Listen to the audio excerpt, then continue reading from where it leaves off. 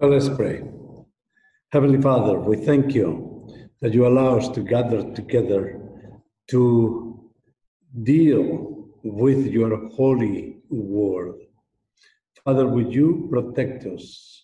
We pray for the empowering of the Holy Spirit, both upon me and upon the hearers. Protect us, my Lord, that we will be faithful uh, as we read your word, that we will be uh, people that are obedient to you, and that we pray that this study will bring us closer to you through the knowledge of your word and bring conviction of sin and help us in this tremendous process of, sancti- of sanctification.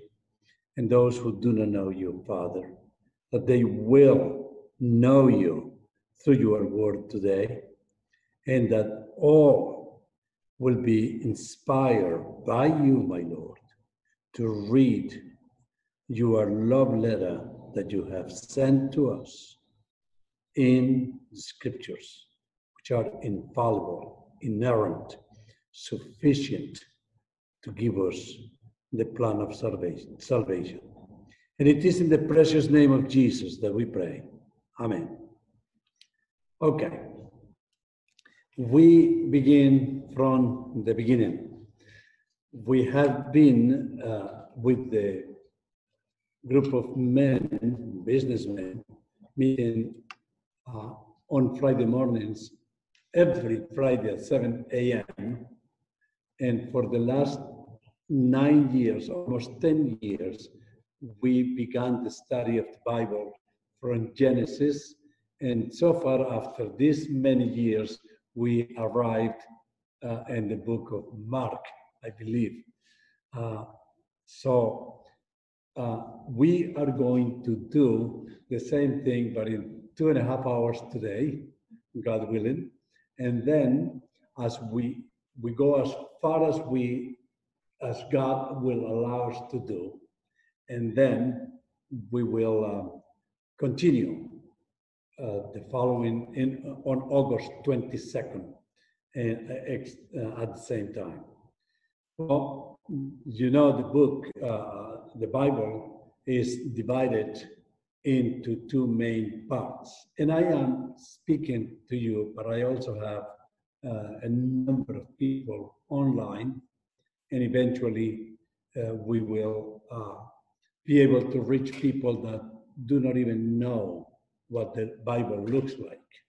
So, this information that I'm giving you is superfluous for you because you know it. But I'm doing all of these things also for the sake of those who do not know the Word of God in the Bible. So the Bible is divided into two parts. The first part is the Old Testament with 39 books, and the New Testament with 27 books.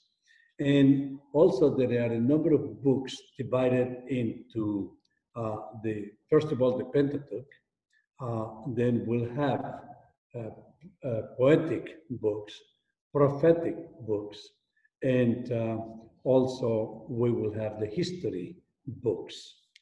Uh, we, the whole Bible is really the history of redemption and salvation. And we begin in Genesis, and God willing, we will go through the entire Bible, but then if we have time, mm, uh, the next time that we will meet, we will go into specific books that give us that information so clear of the relationship between the Old Testament and the New Testament books. Um, it is a joy to be able to go through these books uh, with the assurance that what we are dealing with is infallible and is the Word of God. We are not, but He is. So we begin with the creation. the book of Genesis, the book of beginnings. And in the in the beginning, uh, we see a, a, particular word in creation. And that th those words are in Genesis 1, uh, verse 11, verse 12, verse uh, 24, 25, and, uh, and others. But that particular word is that God created in verse 11, let the earth bring forth grass, the herb that yields seed, and the fruit tree that yields fruit according to its kind. According to its kind. When you go to uh, verse 21, uh, you'll see the same word, according to their kind. Verse 24, creatures according to its kind. Uh, 25, according to its kind. According to its kind, twice there. According to its kind, in verse 23, you have that expression three times. Well, that doesn't leave any room for evolution. See, uh, the people in evolution believe, especially there is a man who wanted to make, make a marriage between the Bible and uh, evolution theories. His name is uh, Teilhard de Chardin, uh, and spelled C-H-A-R-D-I-N. It's a French philosopher of this last century. And he said that God is omnipotent, so he just created the vital principle, which is one cell. And he gave that cell the ability to evolve, and he didn't have to be involved in that anymore. So, and he called that the omega point. I could see Dr. Sproul laughing at that when we mentioned, I said, ha, ha, ha, the Omega Point. And one Friday afternoon, something exploded, you know, and created all of this out of one cell that evolved. How ridiculous is that? And he works with cause and effect. You know, what is it that caused nothing to explode? But in any event, what we have to tell the evolutionists and Teilhard de Chardin and all his followers is that the Bible is clear that he did not create one vital principle, one cell with life and allowed the cell to evolve. He created things of its kind, uh, animals that will continue to be of its kind and is, is, there is no room there for evolution from one kind to another. Uh, then we, uh, God created men and, and women, and they asked them to be fruitful and multiply. And again, against the currents of today's uh, ways, uh, he did not create men and men and say, go ahead and multiply is man and woman, clearly and distinctly. Men and woman sin. Uh, sin entered through a man, according to Romans 5. Uh, why? When Eve was the one who ate the fruit first. The reason why, dear husbands, is because Adam was there and he did not protect his wife. So uh, they sin. And then we have the magnificent plan of salvation in chapter 3, verse 15, called the Pro Proto Evangelium, the uh, promise of the of the gospel. And God says, 3:15, and I will put enmity between you and the woman, and between your seed and her seed. He shall bruise your head, and you shall bruise his heel. Is the promise of the Lord Jesus Christ right there before uh, before we even began. Um, he announces that the Lord Jesus will come to redeem. Then men, of course, run away from God, and it was God who went after them to save them, and then uh, cover them, have to kill an animal to cover them, and the same way is a picture of Jesus dying on Calvary and covering us with his blood. What a picture of redemption. Then, of course, man was created free, with free will. But man sinned and lost his free will. And now man can do nothing but sin. He cannot choose between good and evil until God will regenerate some.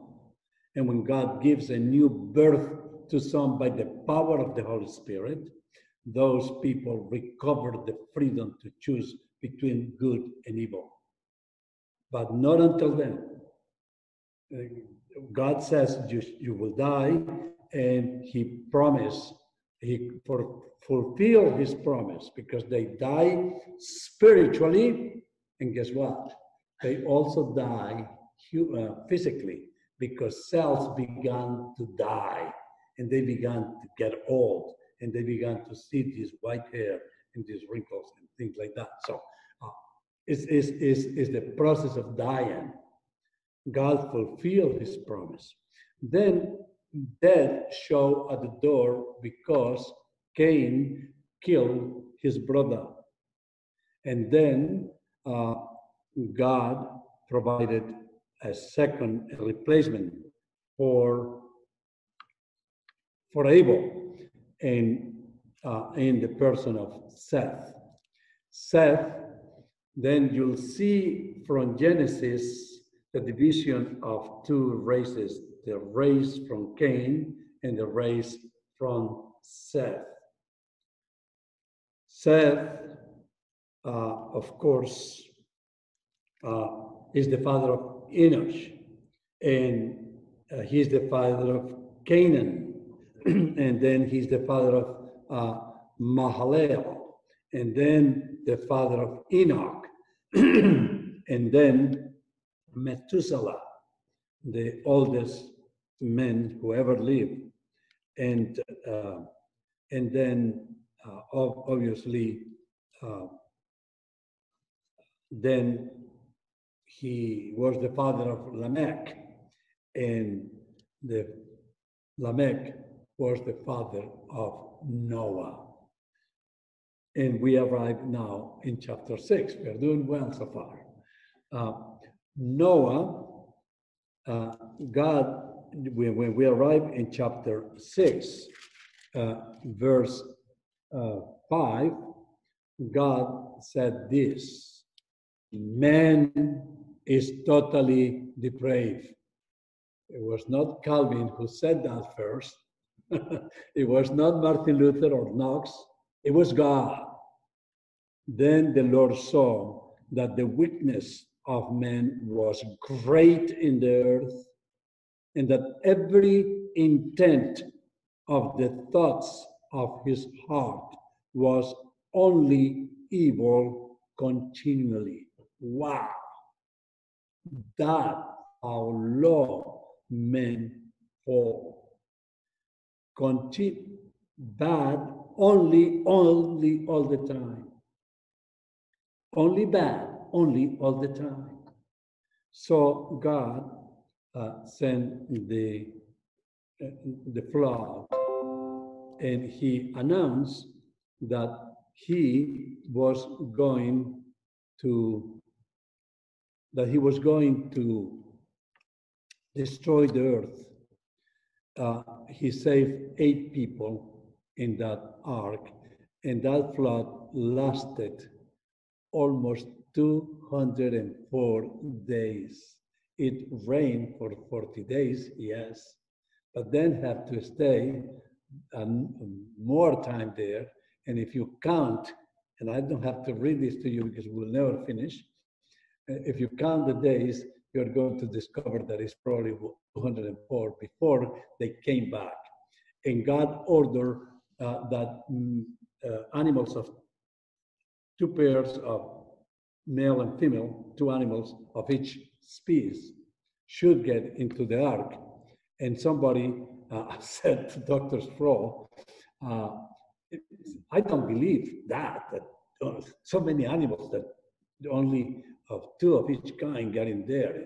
That's double. He says, I don't believe that either, because there were not only two by two, there were in some cases seven animals of each kind, because they have to have something to eat and they have to also uh, offer sacrifices. So you will discover that of the clean animals, there were seven, not two. Now, uh, scientists will fight this. Uh, however, the Lord Jesus mentions the flood and mentions the ark and mentions the so if the Lord Jesus said so, we believe regardless of what scientist says about it. And then uh, after Noah, uh, Noah have three uh, sons. And uh, those three sons, uh, after the flood, uh, Noah became drunk and the and, and, and, and, the three sons uh, his descendants, one of them can uh, saw the nakedness of his father and make fun of it. And Noah uh, sent a judgment against the race of them. And then we have uh, uh, and it was in Can, Canaan was course. It's interesting that Canaan is the son of Can. Um, then we'll have the different descendants of these three people, and we have uh, obviously the descendants of Shem, which is where we really come from. And Shem have children, and eventually he, uh, the, we come to the place where uh, uh, we see the father of Abraham, and his name is Ta- Tara. He, no, the father of uh, of Abraham. I'm trying to read as fast as I can here, and I, but Abraham live in what is today Iraq, which is is, is from the Chaldeans, is from the from the place where Babylon is, and uh, this uh, uh, Abraham had three two brothers, and they live in the land of Ur in Babylon. There, one of the sons, Haran, dies. So the father of Abraham and the other brother move from the south, uh, from Ur, from Iraq, from Babylon, all the way to Syria. And they moved to a town called Haran. That town was not there. When they came and encamped there, they named the town uh, uh, under uh, the name of Haran, which is the boy who died, uh, the brother of Abraham, who died in in um, in Babylon, in Ur. It, it is interesting that uh, from Haran, God called Abraham to go to the promised land, to Canaan. But the Bible says that God called him out of Ur.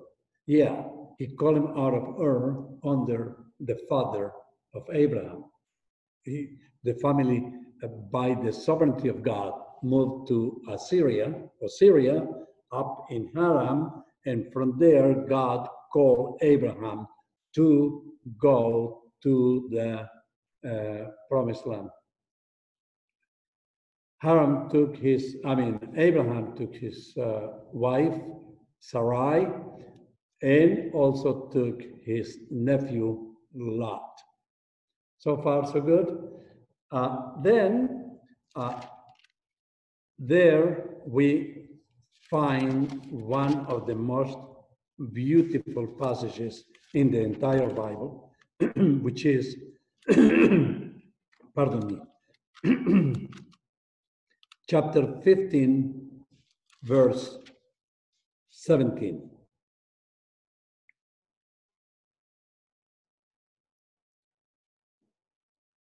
God promised Abraham a descendant and to be the father of nations, but he did not have children.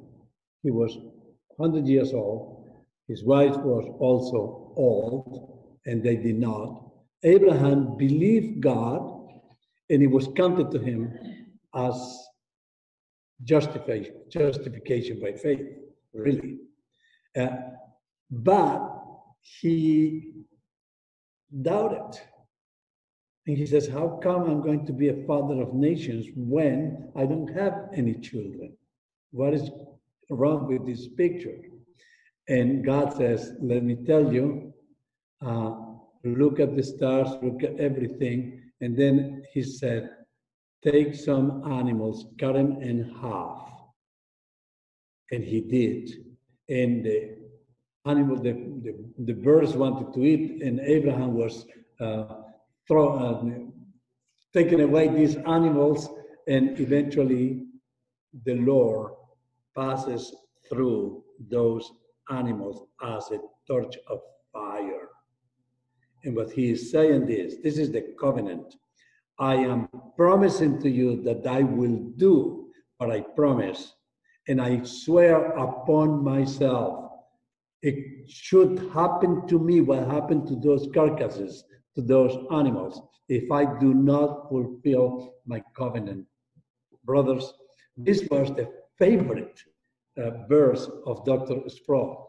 When they ask him to sign the Bible, say, put, your, put down your, uh, your favorite, he will say, uh, Genesis 15, 17, and people go crazy looking at that. It doesn't make sense, but let me read it to you. And it came to pass when the sun went down and it was dark, that behold, there appeared smoking oven and a burning torch that passed between those pieces.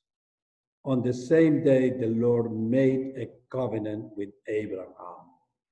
To your descendants, I have given this land from the river to of Egypt to the great river of the river Euphrates, and so on. But the point is, this covenant stands up to today.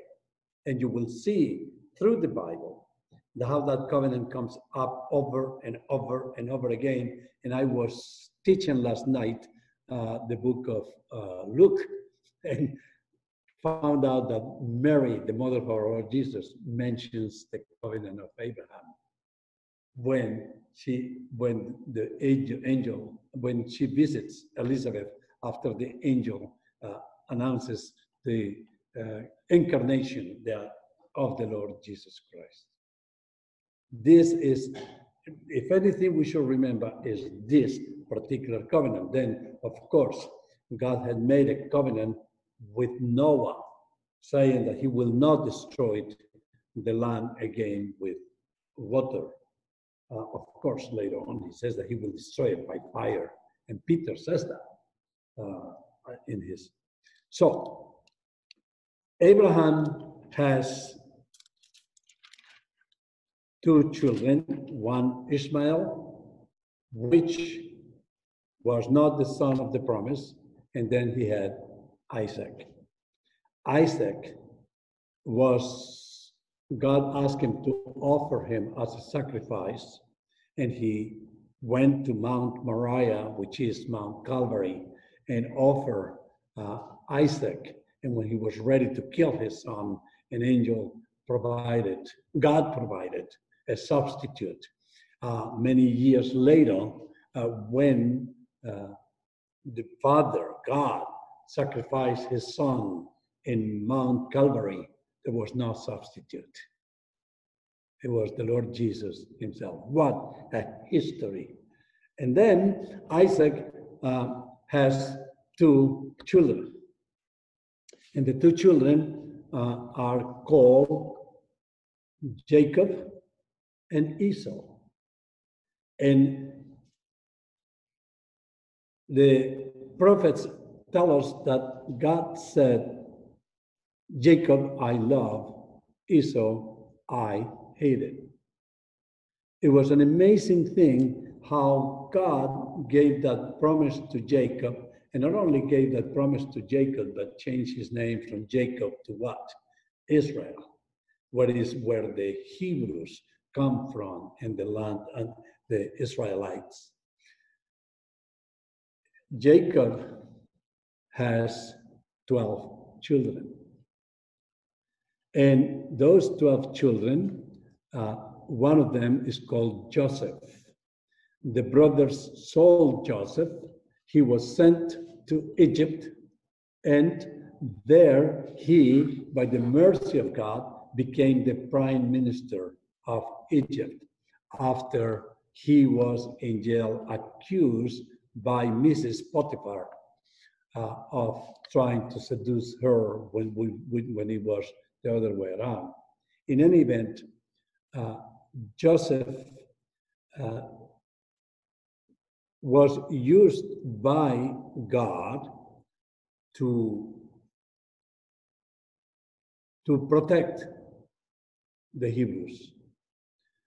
It was a famine, and the brothers of Joseph and his father end up in Egypt.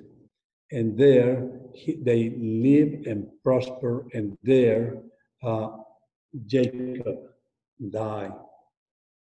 And they were prosperous until many years pass.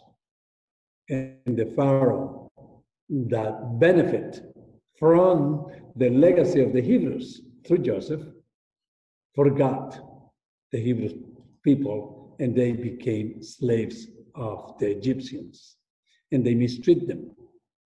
There is the end of Genesis. Now we begin with Exodus. Exodus, uh, in, in the book of Exodus, you will see that God provides a prophet on the name of Moses. Moses, uh, you know that he was born uh, in, an, uh, in, in, in, the Hebrew, uh, the Egyptians were trying to kill all the Hebrew children to avoid the reproduction of, uh, of, of, of, the, of the Hebrews the Egyptians, uh, little boys, and Moses survived that, and he was raised in the house of the Pharaoh. Eventually, he had to leave Egypt because he tried to defend the Hebrew people. In the, in the desert, he there in the desert, he also married and from there, God called Moses. And he saw this burning bush, approach it, and then God said, Moses, Moses, take your sandals off from your feet, because the land that you are stepping in is holy. So, God sent Moses to deliver the people from Egypt the Hebrews. And there is the famous saying, Who do I say is sending me? And God says his name. Tell them, I am sent you. You will remember in chapter 8 of John when Jesus said to the Pharisees, I am. So is a clear demonstration that he also used the name of God for himself. And the Pharisees remember that he was talking about the same thing, the same God, Jehovah, Jehovah, Jehovah, Yahweh uh, of the. So God sent it to uh, Pharaoh, and you know that God also hardened the heart of Pharaoh. That's why he says, I will have mercy upon I will have mercy, and I have compassion upon whom I have compassion, and I will harden wherever I want to harden. And of course, I don't have the time to explain what that hardens mean, which is just leaving man to his own will. Uh, in any event, he sends 10 plagues upon the Egyptians, and the last plague is the killing of the firstborn of the first male born of the Egyptians. And then uh, Pharaoh begged them to go. And not only begged them to go, but gave them money and things to go to exit. And they left. Before they left, they celebrate the first Passover.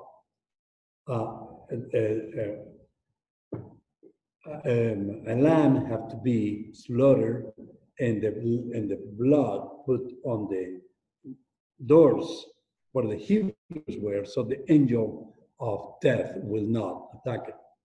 The last Passover was celebrated by the Lord Jesus on a Thursday evening. And that was the very last Passover where the lambs that were slaughtered uh, there at the before the Exodus uh, is the picture of the Lamb of God who takes away the sins of the world that was slaughtered in Calvary. So they live and in the desert, people rebel, rebel against God and against Moses, and they complain. And you know what? If you read carefully, you are going to see that God sends them 10 plagues. You know, any little plagues that will scare me more than the others. One of the plagues were snakes that would bite them. And that's when in Numbers, uh, God says to Moses, raise a bronze snake on a tree, and whoever looks at the snake even if the snakes will bite them, they will not die. And then Jesus said in John, again, John 3 says, and the men of and the Son of Man will be raised up on as the snake was raised on bronze uh, in the desert, and whoever looks at him will not die, even if the devil bites us. you know, we will be saved. Uh, so, in the Exodus, we, we arrive at Exodus 20, where God appears on Mount Sinai. And it is in the peninsula of Sinai Peninsula. And there, God gives Moses the Ten Commandments, but not only the Ten Commandments, but he gives him all kind of instructions on how to build the tabernacle and how to institute the uh, the sacrifices and the uh, and the the way God wants to be worshipped properly, and then uh, the people of God begin to rebel against God, building uh, another God while God is on the mountain and the mountain was shaken, and God showing his power there. So uh, when Moses comes down, you know the rest of the story. Uh, people, after all, repent. God exercise judgment against uh, the people who uh, sin against him by idolatry. And then the book of Leviticus begin. The book of the Leviticus is the book of the ordination of worshiping under the priest. And in the book of Leviticus, God or shows uh, Moses how to ordain the priest and the dignity and the holiness that a priest has to exercise approaching God. And the uh, high priest is established, and the, and the first priest, of course, is Aaron and his children, and God tells them how to properly worship God. The children of Aaron, you know what happened. They offer sacrifices that were not ordained according to God, and God killed them.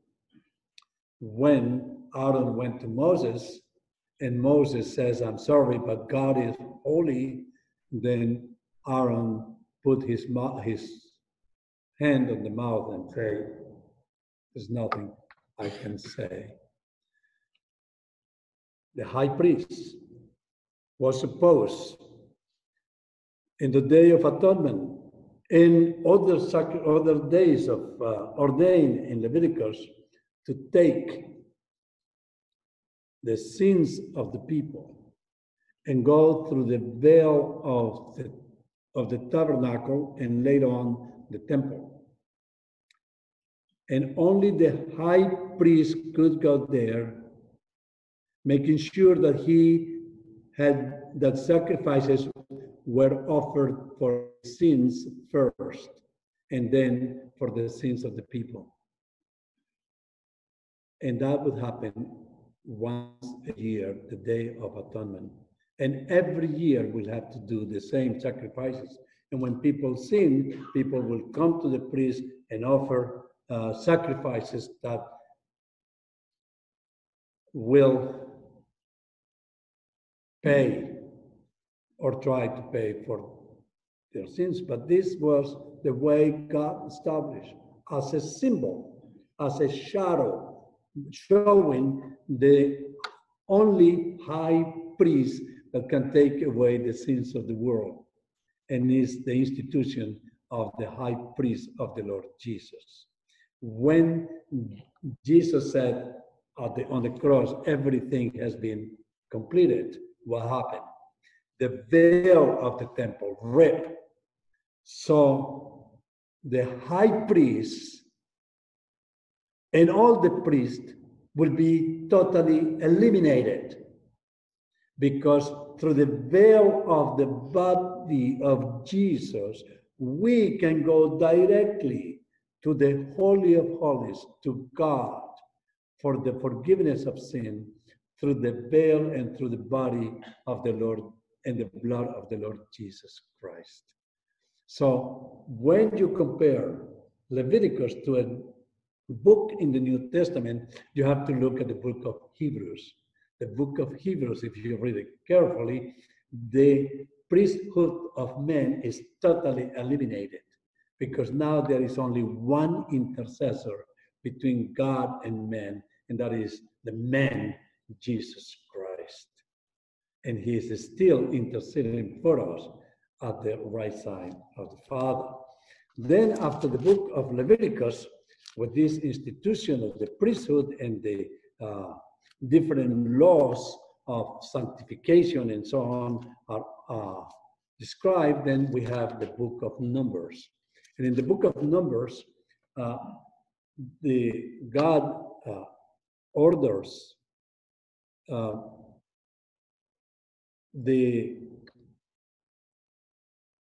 Moses to number the people, to know who are they, and, and to keep records of the uh, um, uh, uh, of, of the people, if they're really Hebrews, and how many they come and how many go out. And during that book, you will see things like uh, the again the rebel, how people rebel, uh, become rebellious against even Moses. Even his own sister becomes rebellious against him. And uh, at one point, uh, people are thirsty, and at one point, God says, Go and hit that rock. And he hit it twice, and it was okay. The second time, God says, Talk to the rock. And instead of talking to the rock, he said to the people, You rebellious people, you want water. We, did you hear that? We are going to give you water and hit the rock twice. And God has said, Don't even hit it, talk to the rock. When he did it, God says, You lost your right to enter the promised land.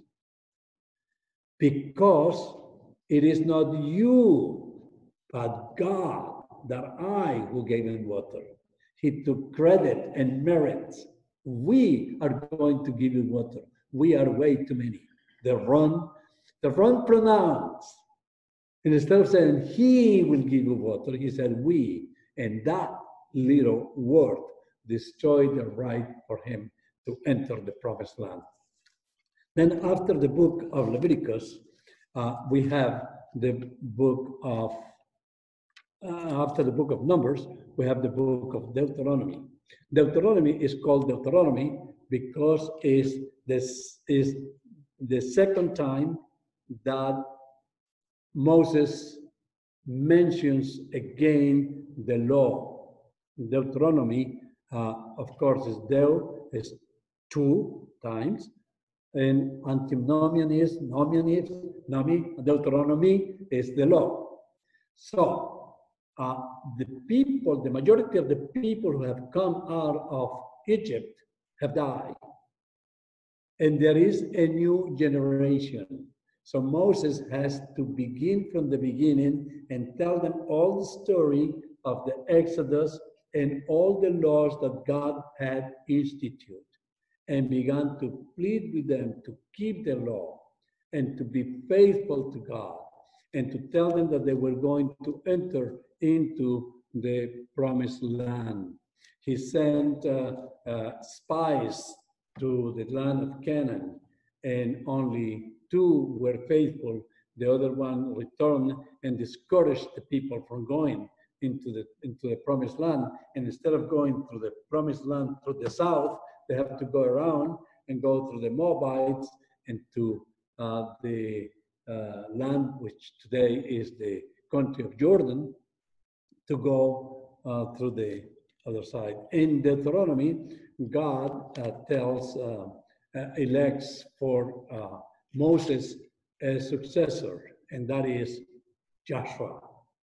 And tells Moses that he is going to die, and of course, Aaron also died, and Eleazar uh, is one of the new priests.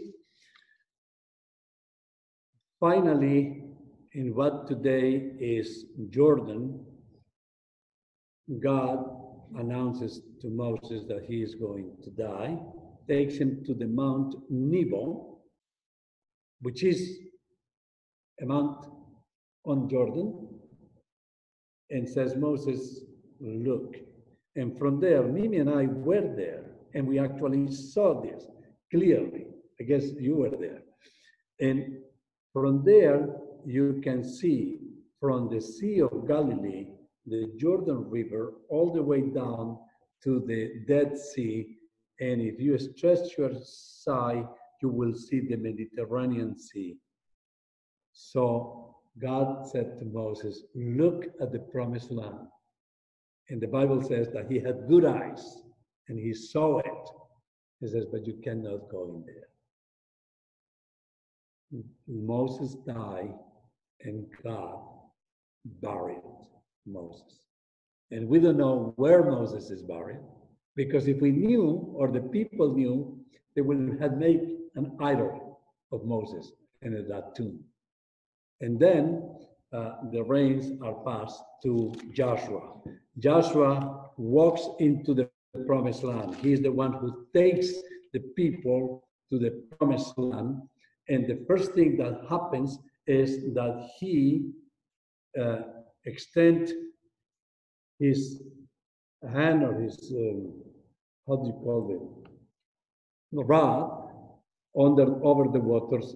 And guess what? The waters divide. And the river holds the water, and all the people pass through the river. That sounds familiar? That's what happened in the Red Sea.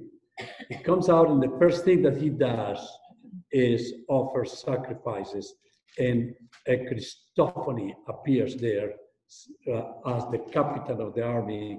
And Joshua said, Are you for us or against us?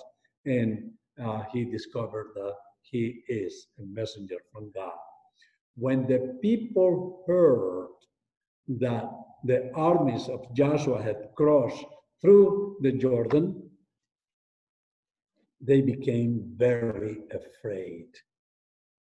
Fear kills people. That's why they try to put fears upon us.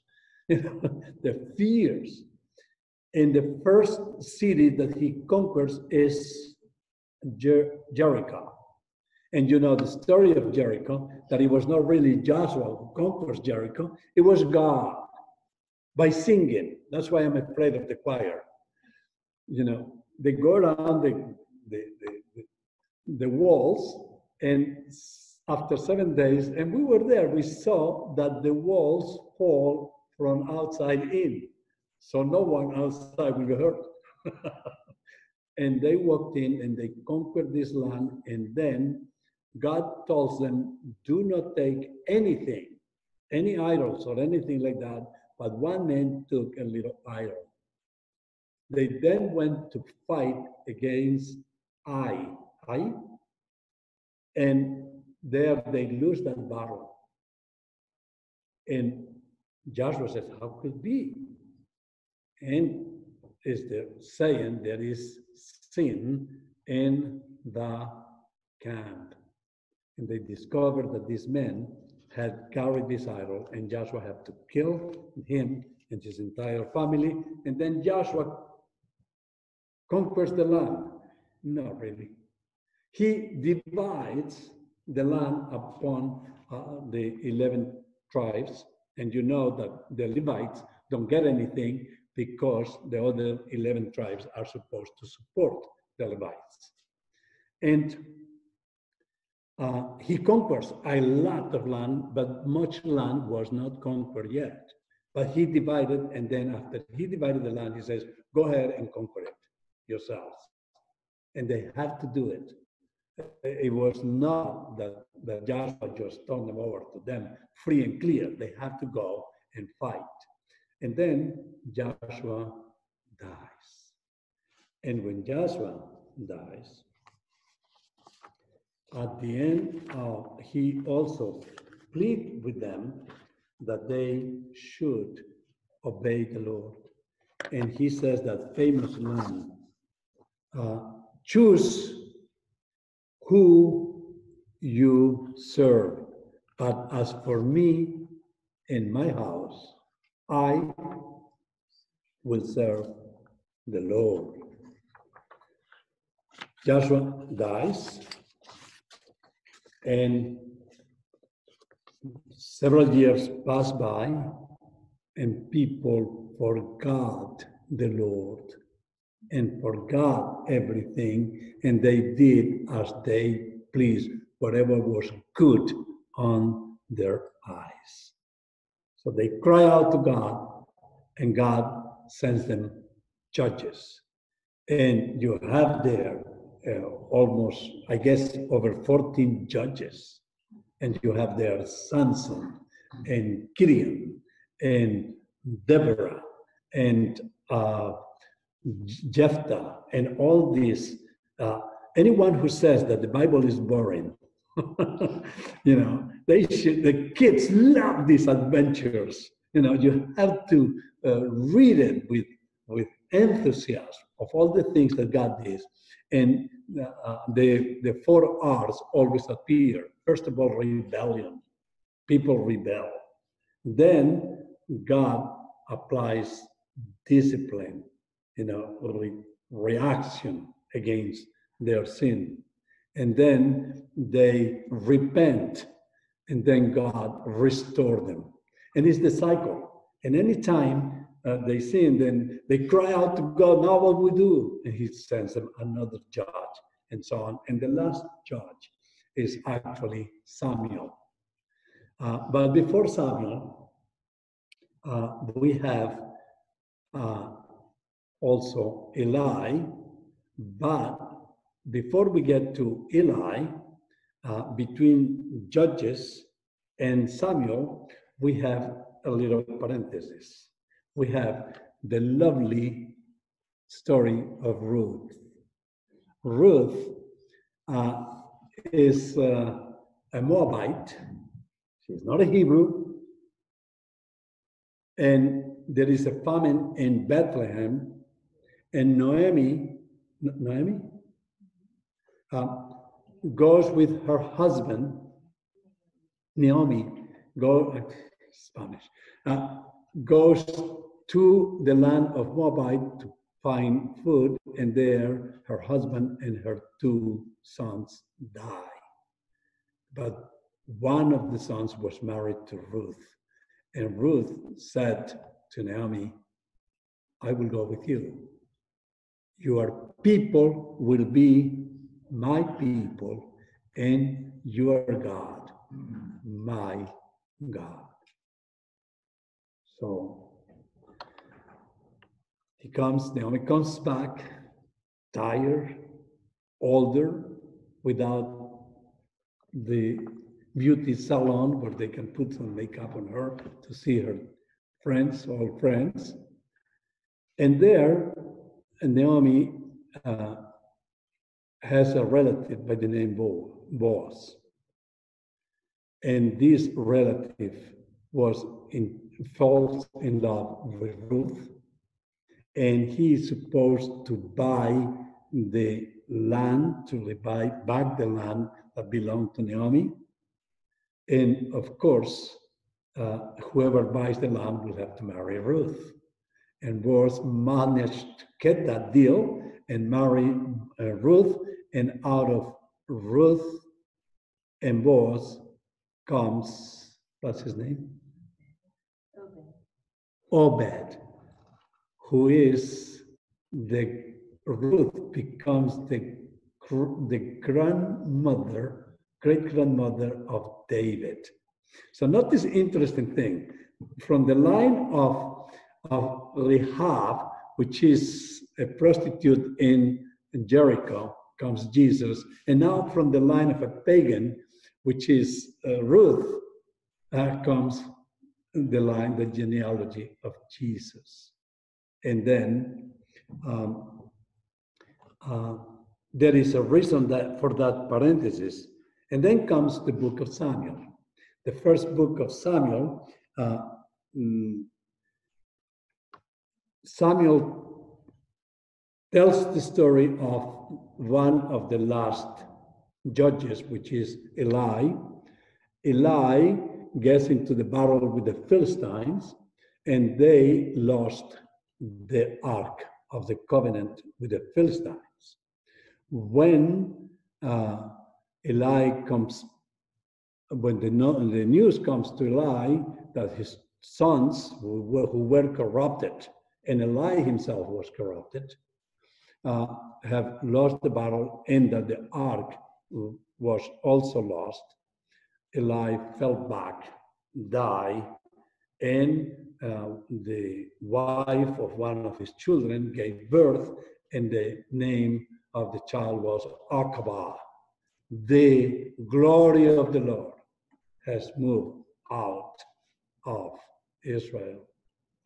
Then Samuel becomes the judge.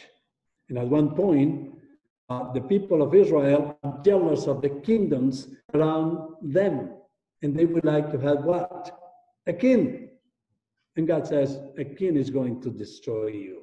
A king is going to do horrible things to you. Don't do it. And Samuel says, that's what they want. He said, well, don't worry. They are not rejecting you. They are rejecting me as their king. So Samuel finds Saul. And you have the list of the kings there with you, but we will get there. Uh, Saul is, is chosen by God as a judgment, really, uh, to the Hebrews, and he becomes the first king. Uh, Saul, at one point, parts from God. And, instead of going to God for counsel, he goes to a witch. The witch will tell him that he will die with his sons. And he said that he, and she said that it was Samuel who said that. You know, don't believe that for a second because uh, the dead will not come back. Uh, that was what she said. It looks like an old man, it looks like Samuel. But uh, at this moment, Saul was dealing with demonic powers, with witches. And so he uh, loses his life. But before he dies, uh, God already had chosen a new king, and that was David.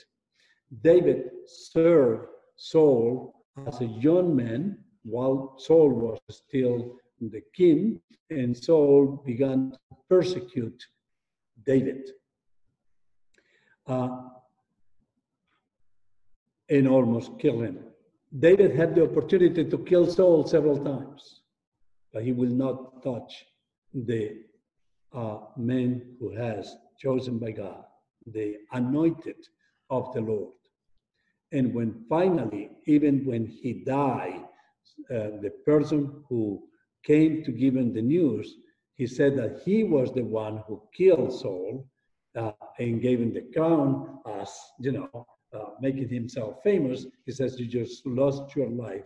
How dare you raise your hand against the anointed of the Lord.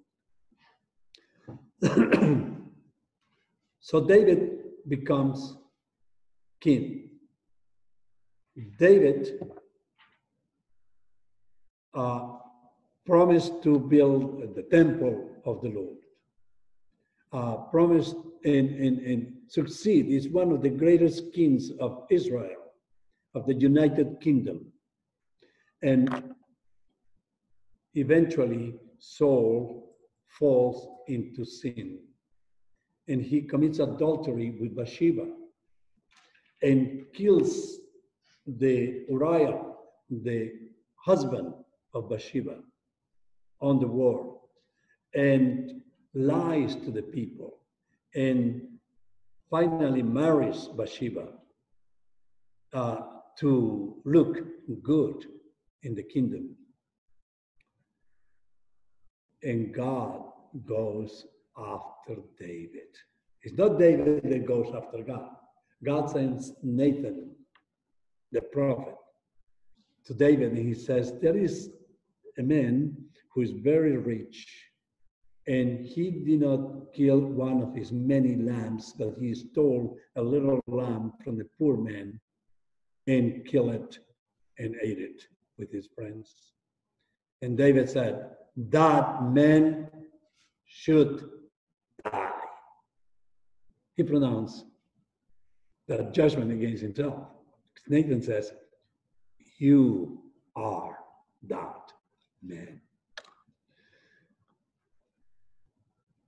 What did David said? Responded with Psalm 51. Against God and God alone I have sinned. Have mercy upon me. You are right if you judge me and send me to hell, but I claim to your mercy. Against God and God alone I have sinned. Clean me with hyssop. Give me a new heart so I can proclaim the same to others. And so he repents. And we and the Bible says that David is goes after the is is men after God's heart. Then uh, David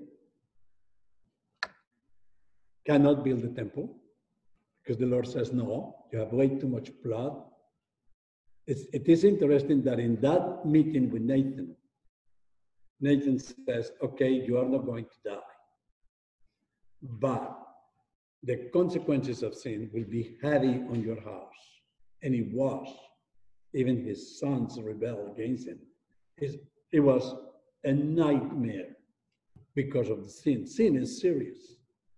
Especially uh, sins of adultery has destroyed so many people, houses, uh, people, uh, families, kingdoms, uh, you name it. And then he said, You cannot build my temple. You have way too much blood. But your son will do. So David prepared all the necessary mm, things and even plans for the building of the temple. And then comes um, Solomon. But notice that out of Bathsheba comes Solomon, which is part of the genealogy of Jesus. A woman, an adulterous woman, is the great, great, great grandmother of Jesus. When we see this, dear ones, when we see this, we see the humiliation of the incarnation. He didn't come to palaces with pure, decent people. He was incarnate in humble between sinful people. You know, that's why Romans 8, chapter uh, 8, verse 1 and 2, uh, what we could not do, God did by sending his son in what? In the likeness of sinful flesh. Not a sinful flesh, but in the likeness, because he came already from the line of very sinful people. Well, enough of preaching. Now, David uh, has Solomon, and Solomon comes into the kingdom. Solomon begins well, builds the temple. I encourage all of you to read that prayer of Solomon when he builds the temple. It is an amazing, an amazing picture to see uh, when he prays and the glory of God comes into the temple. It is, it is a magnificent picture of, uh, of, of the glory of God. But then Solomon falls into sin. He marries many women, foreign women. He becomes rich, he imports horses and all of that. Uh, but in Samuel, you see that when, the, when, when Solomon was born, it says Samuel that God loved Solomon. And when God loves somebody, he won't take his love away. In fact, in the book of Kings, you don't see any repentance on Solomon, but keep reading and you are going to see Ecclesiastes where he claims that all the sin that he did was vanity, but nothing more than vanity. And you can see the repentance. Solomon slaved his people to a certain point, and It is really cruel, but at the end, obviously, he repents. He also writes a beautiful song Song of Songs that I will love for every husband and every wife to read it and to and to share that beauty of the poetry and compliments to each other in that book. But we will get there, don't worry. Uh, that's part of our study. Because in that, I probably spend some time because you don't want me to skip through that. Uh, then you, it comes the division of the kingdom. Solomon has a son, and the son is more cruel than he is. People complain to his son, uh, Solomon, who is um, Rehoboam, the son of Solomon. And you have it in this paper that you have there. Rehoboam is the first king of the south. And when they came to him and said, Will you have more compassion upon us than your father? He says, If my father, if the if the was managed with the little finger, um, my my little finger will be my entire body upon you. So they divided 11, uh, 10 tribes flee to the north under another king called Jeroboam. And, and the kingdom is divided. We don't have more a united kingdom. In the north, you have uh, Israel uh, with the capital of Israel being um, Samaria, and in the south, Judah with the capital of Jerusalem. Rehoboam did not do well. And Jeroboam, pardon me, and Jeroboam in the north did worse. He created a pla- places of worship, idolatry, so people will not be enticed to go back to, to uh, worship at the temple because he was afraid that he was going to lose the kingdom. And then you have a division of kings, and there are about 40 kings 20 in the north and 20 in the south. And you have the list there that maybe um, um, our friends in Medellin can put it on the and and you can see the list of uh, of the of the kings and you will see that in the south there is a number of kings that do well and there are kings that do very very bad but besides the list of kings you will see the prophets that were working during the time of those uh, uh, of those periods of the kings were there, both of the north and the south. In the north, there were also 20 kings, and none of them did well. All of them became corrupted, and they uh, reigned until the year uh, in the north, they reigned until the year 612, more or less.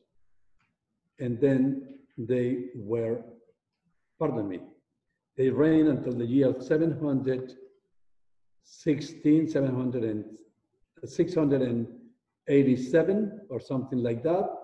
And then Israel was taken into captivity to the Assyrians.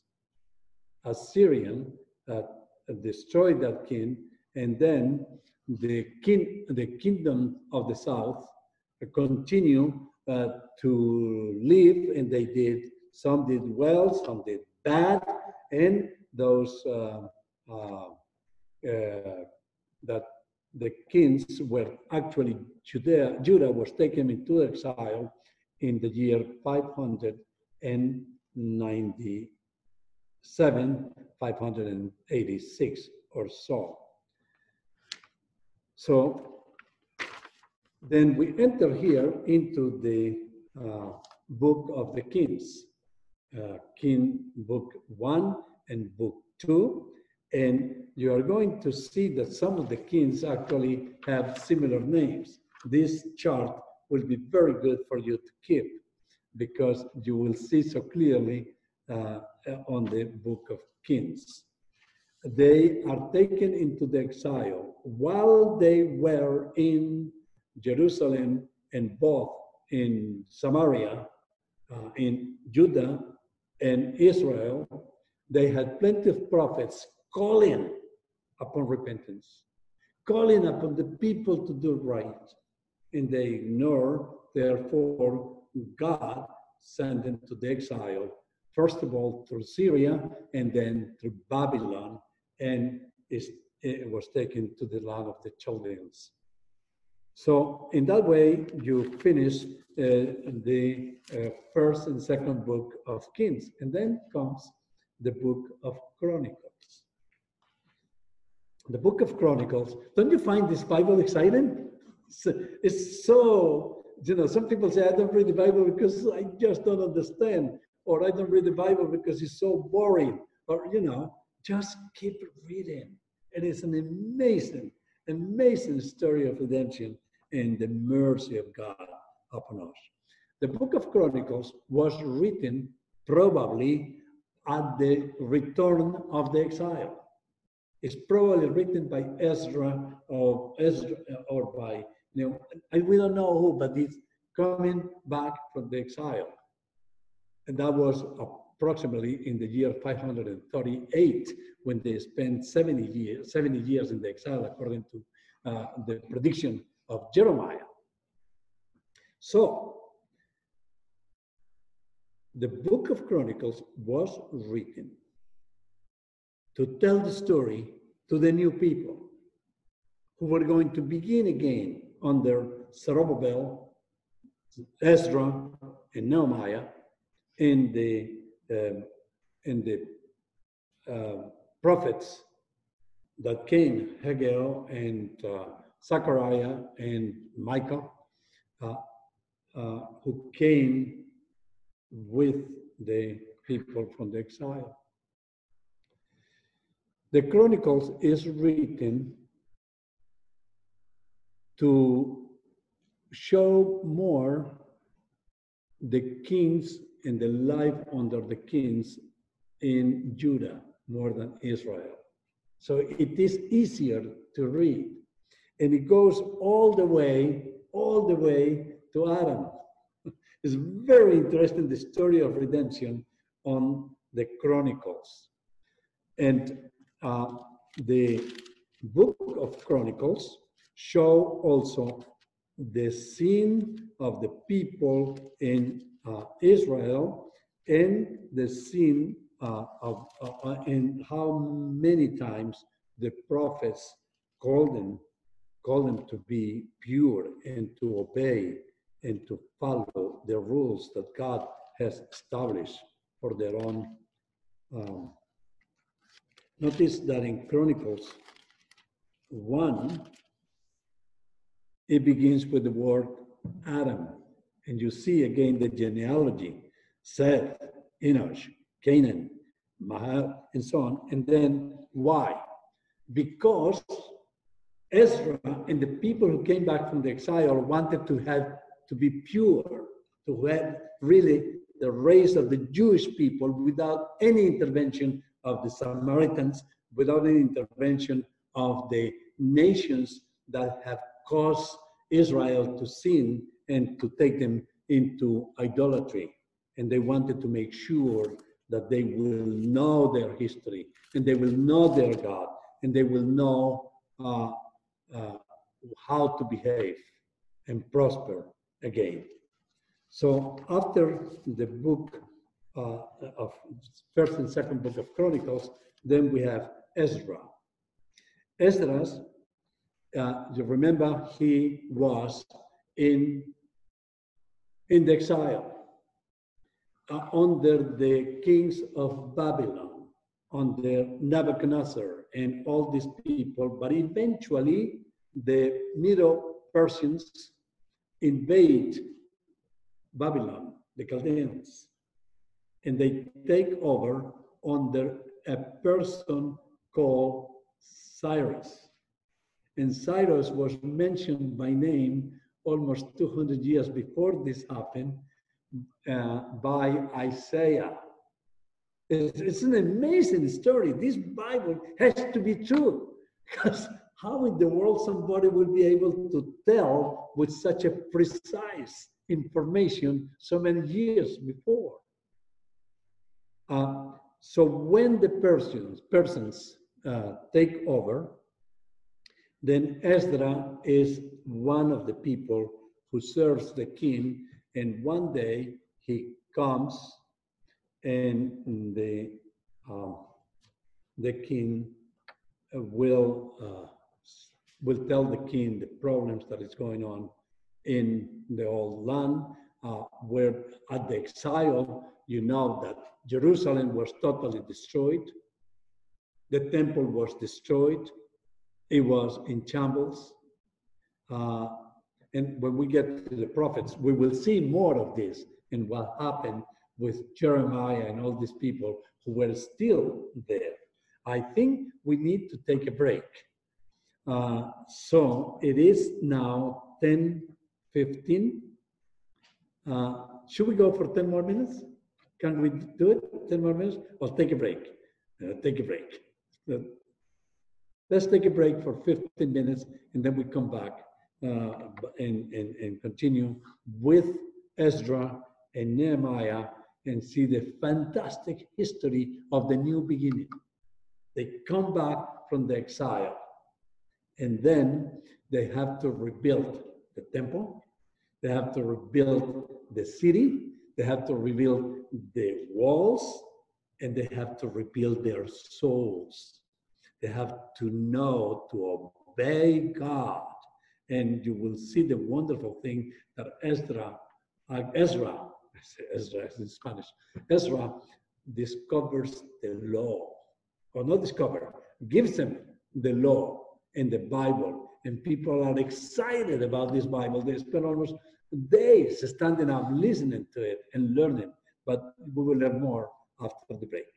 Let's take uh, 15 minutes and then we'll come back.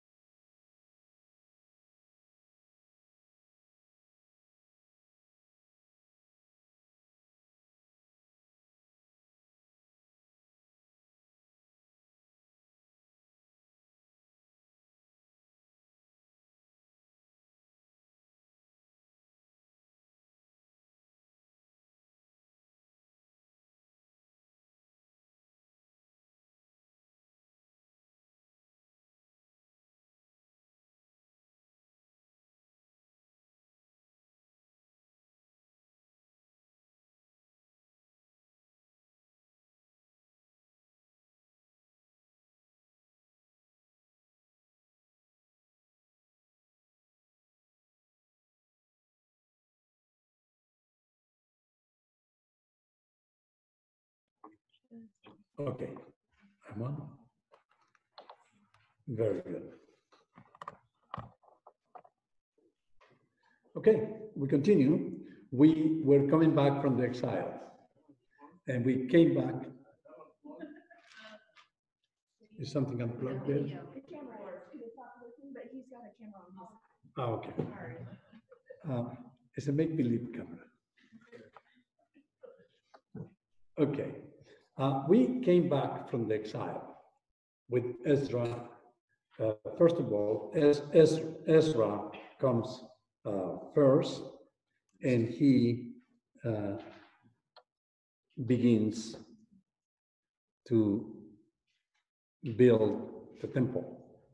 And in that time, you have Haggai and Zechariah and other prophets saying, "You guys forgot to uh, to work on the temple of the Lord." They get a lot of people trying to help him from the Samaritans, and he and they say, "No, we want to keep the purity of the people. We don't want to mix again with pagans." And so they get into a lot of trouble. Um, Ezra uh, reads, he's a priest, so he reads the Bible to the people, discovers again and, and pleads for the purity of the priest and the and and and and the, and, the, uh, and he builds uh, the temple again, and of course people cry out because uh, they are joyful to see the temple again on one hand, and on the other hand, they compare to the original temple, and there is no comparison. They, they know that it's not as glorious as the previous temple, but the history of uh, Israel continues there, and we are approaching the year 400, where the Old Testament ends, and there is again 400 years from the year 400 until the first year when we'll see again John the Baptist. God is silent. Then after Ezra, uh, Nehemiah is sent also by the Persians um, uh, kings to come and build the walls. And again, Nehemiah finds a lot of opposition, both from the Samaritans and the rest of the people around, but he succeeds and builds the walls and builds, and they divide the land again, and they give them again the rules, and they give them uh, the the law, and they and they tell the people that the reason why they were in exile is because they are sin and they don't want to repeat these same problems. Um, after Nehemiah uh, comes uh, Esther. There is a little parenthesis there where even within the Persians and, uh, and Medes and the Persians, they will like, there is a king who is enticed to destroy, to uh, uh, annihilate the race of the Jewish people, the Hebrews. Esther, by the sovereignty of God, marries uh, the king, and uh, with, through a series of events, the fellow who wants to kill the Jewish people ends up being uh, hanged, and Mordecai, Mordecai, Mordecai, Mordecai, I have to, my notes are in Spanish. Um, Mordecai, uh, who is the uncle of Esther, uh, becomes, by the providence of God, uh, the person who actually protects the Jewish people. After Esther comes a magnificent book that many people read it when they are suffering. Is the book of Job. But guess what? I like to suggest to all of us that we read it when we want to know the attributes of the Holy God. I, I haven't seen a, a book more complete showing the attributes of God is, is like the proper theology when we study who God is. God allows Job, who is very rich and blessed, to suffer under the attack of Satan. And Satan is trying, the devil is trying to make Job reject God and rebel against the holy God. And he doesn't naked I came into the world, naked I blessed be his holy name. Says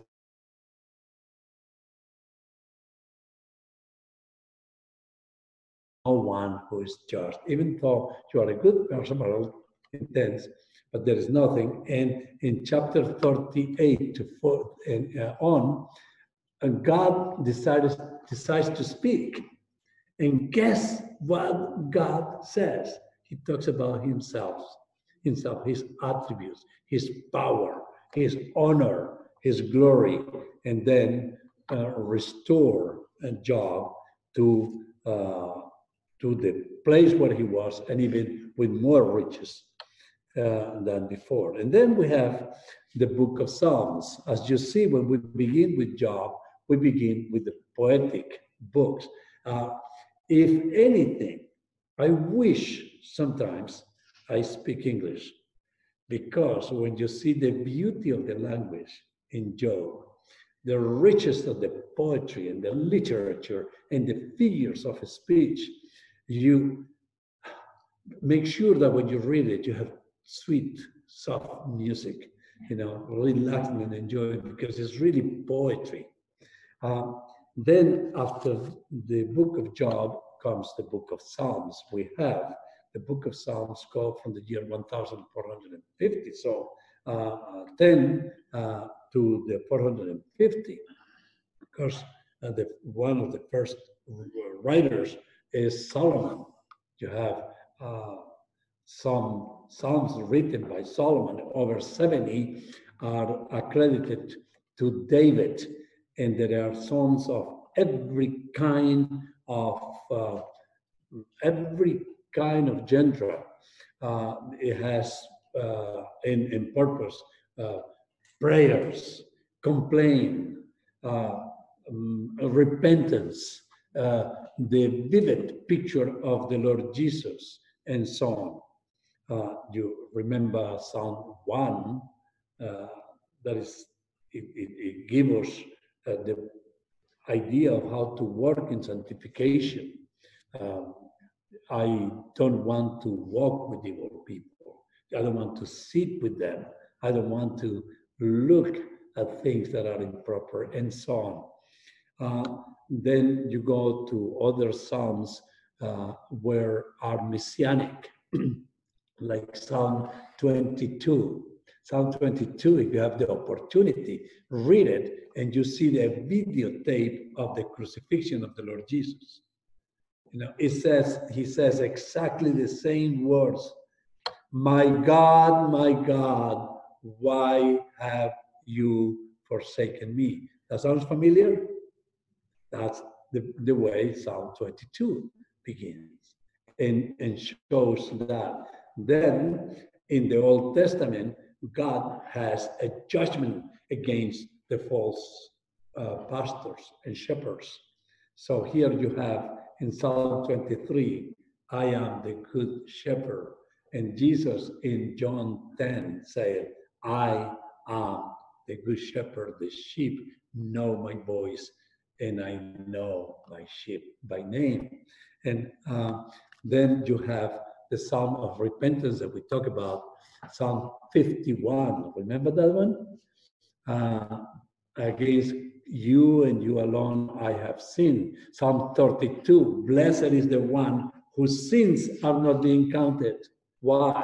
Because everything, all our sins had been tra- uh, transport, transport to the body of Jesus. And God, with his wrath that was coming after us, charged his wrath upon the body of the Lord Jesus, who was carried with our sin.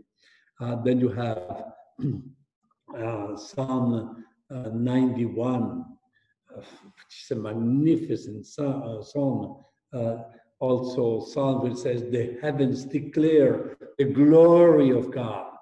Uh, and uh, then you have the Psalms uh, 119, which is the longest psalm, and it is all about the Bible, the beauty of the Bible, how I love your law. Um, Psalm 118 is placed in the middle, in the middle of the Bible. There is exactly the same number of verses from there, from 118, 18 to the end. And if you count backwards, it's exactly the same number of verses. So it's just an interesting thing. It's like I wanted to tell you that the Bible was written, began to be written when discovered, was Columbus discovered America. Not so. It was in 1492, really, but it was before Christ. He was 40 years old when he began to write the Bible, Genesis and the rest. And of course, he copied from traditions and by the inspiration of the Holy Spirit. Okay, don't I hope they don't expel me from this church for saying things like that. But that's that's what we try to figure out through figuring dates. Uh, there are psalms that are messianics. The Psalm 110, the Lord Jesus mentions that psalm over and over again, comparison. Psalm uh, 118 also is messianic, and so on. So uh, some people say that they don't know how to pray, uh, Psalms is a tremendous way to pray. I want to say something for the people who are online, and some of you might not be Christians, and you think that by reading the Bible, by reading the Psalms, you are going to be saved. I have bad news for you. You Psalms can give you courage and enjoyment and all of that. But if you don't trust in Christ alone for your salvation, if you don't know that your sins are forgiven because you believe that Christ is the Son of God, and by trusting in Him, all your sins are forgiven. You can read as many Psalms as you can, but that doesn't give you salvation. You read Psalms because you are a child of God and you know that you are safe and brings you so much joy and in much contact with God. I don't know why I say that, but I find people who have their Bibles open in Psalm 91 or other Psalms, but they never read it. And that's the most dangerous thing to have, to have the Word of God right in front of your face and never read it and to arrive in arrive in eternity and when God asks you, did you read my love letter? And you say, I just read some Psalms. It doesn't work that way. In any event, we go from Psalms to another uh, part of po uh, uh, poetry, which is the Proverbs. And the Proverbs, again, uh, some of them are written by Solomon, but there are many people who wrote the Proverbs. And the Proverbs also give us a lot of information and guides for sanctification. Remember, we are justified once for all when we trust in Christ alone. And we trust in Christ alone when the Holy Spirit convicts our heart, believe in the heart, and confess with the mouth that Jesus is the Son of God. And that happens because God has called the ones that He has predestined before the foundation of the world when we are in front of His Word and the Holy Spirit give us a new birth, a new regeneration, a new regeneration, period. So Proverbs uh, is a number of sayings that they used to say in the mid, in the in the uh, on the east and the Middle East, uh, and they they put it together, and they uh, of course they are um, very much they are very much, they are inspired by the Holy Spirit. And you have a Proverbs uh, of wisdom where it shows the person of the Lord Jesus Christ as the wisdom.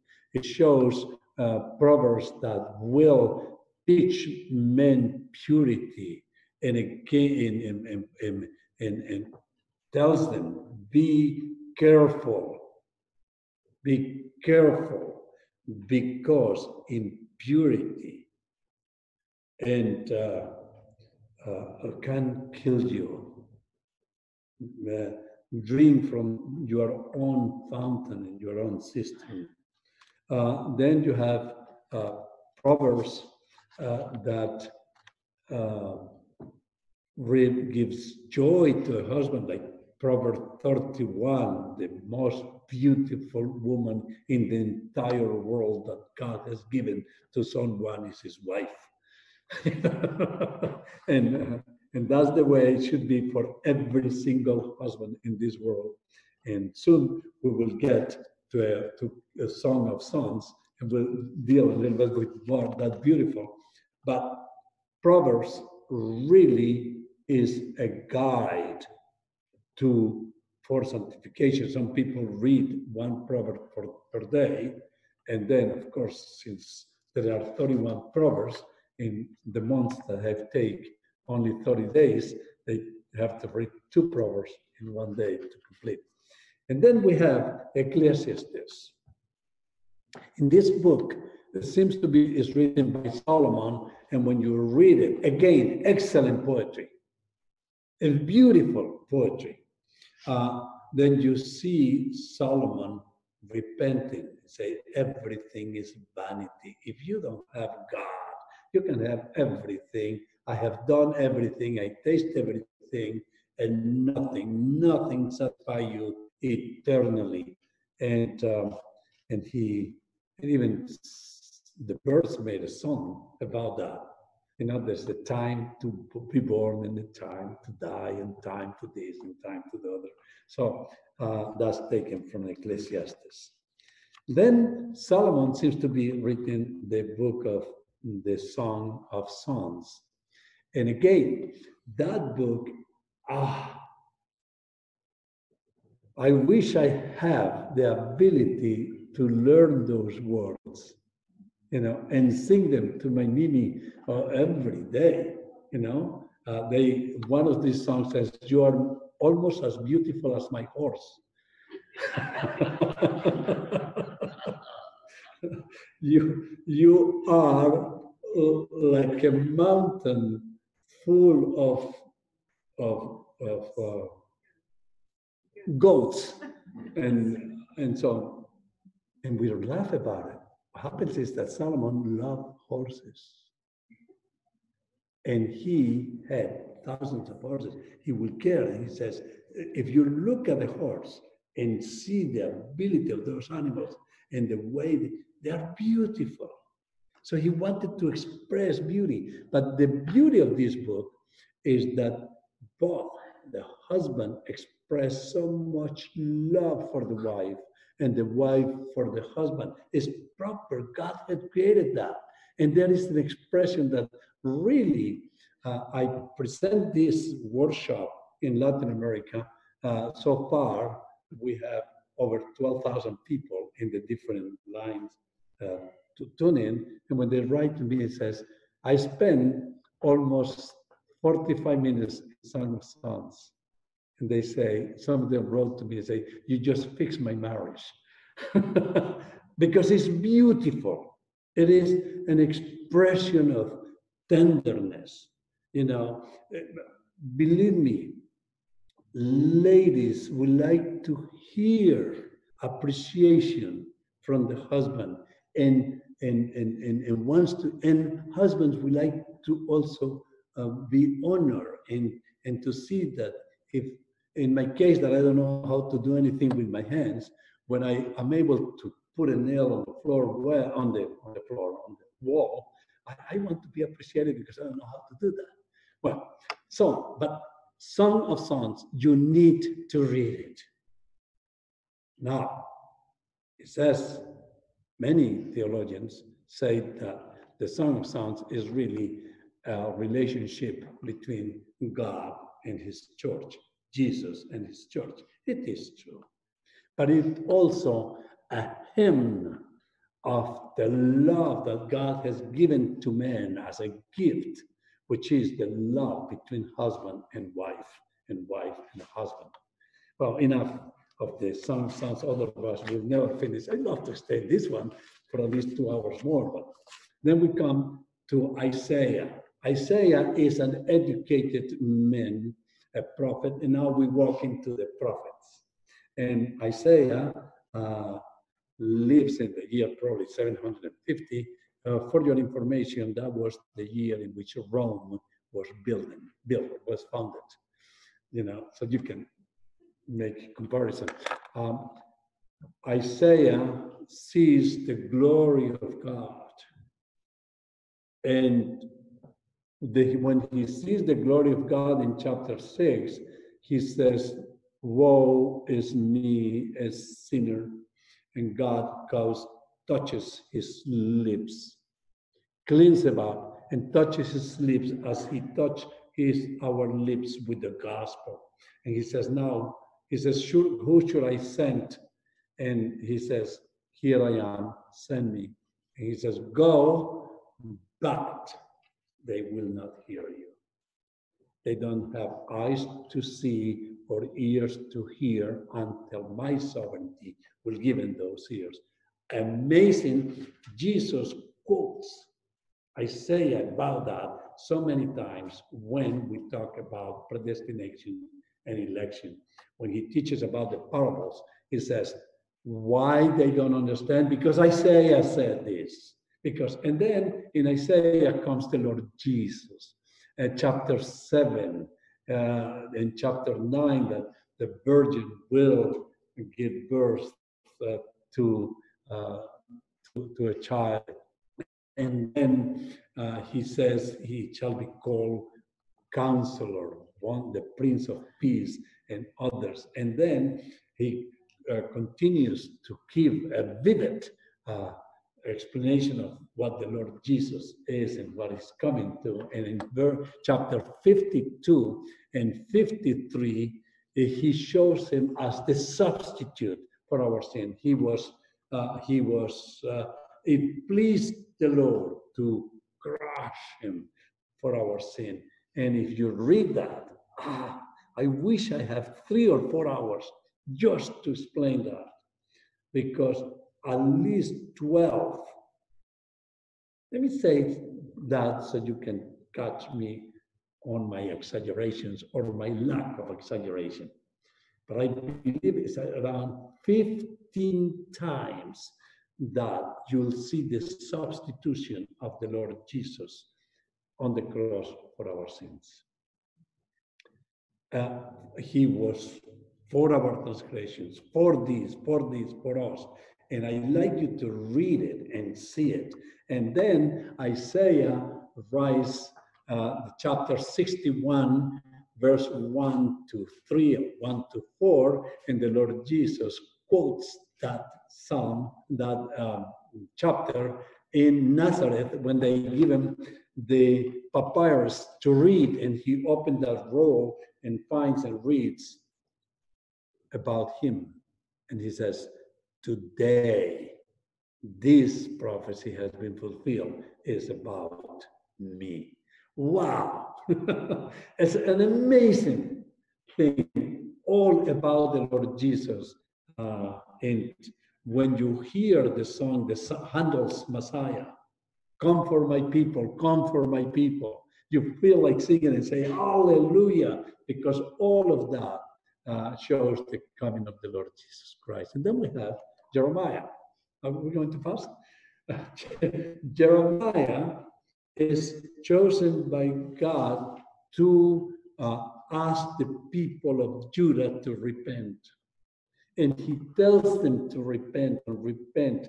And instead of that, the kings and the and the, they hit him and they put him in a cistern with water and they uh, they mistreat him so much.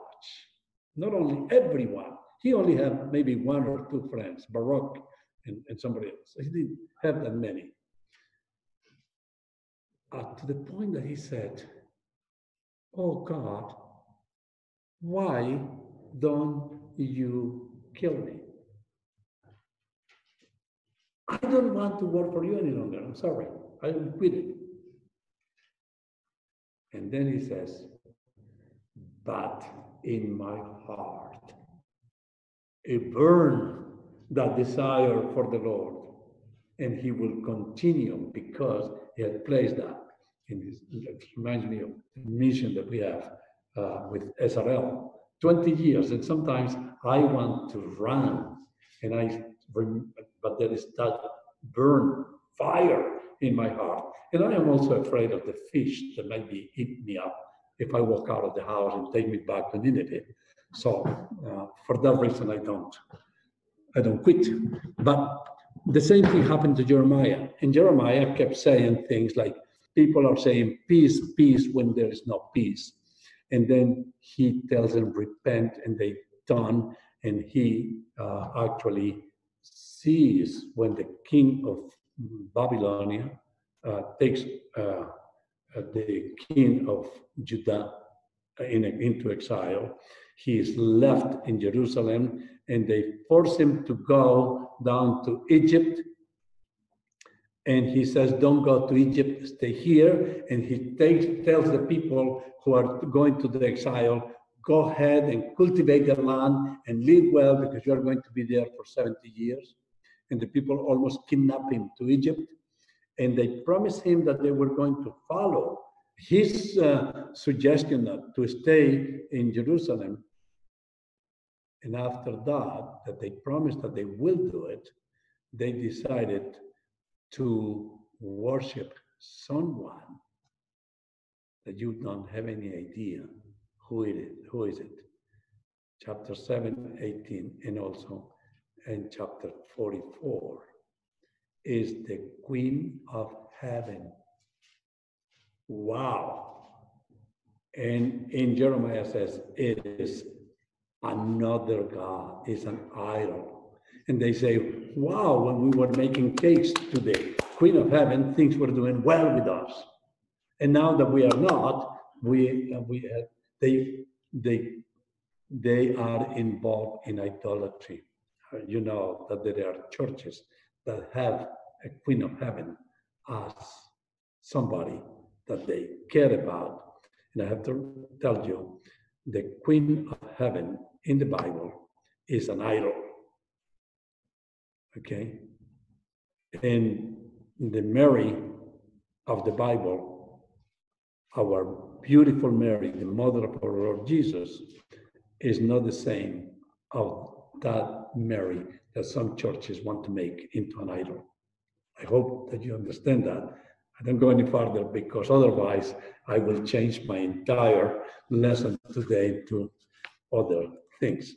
So uh, Jeremiah uh, sees the destruction of Jerusalem and then he walks in Jerusalem and cries a lamentation over Jerusalem, over the total destruction.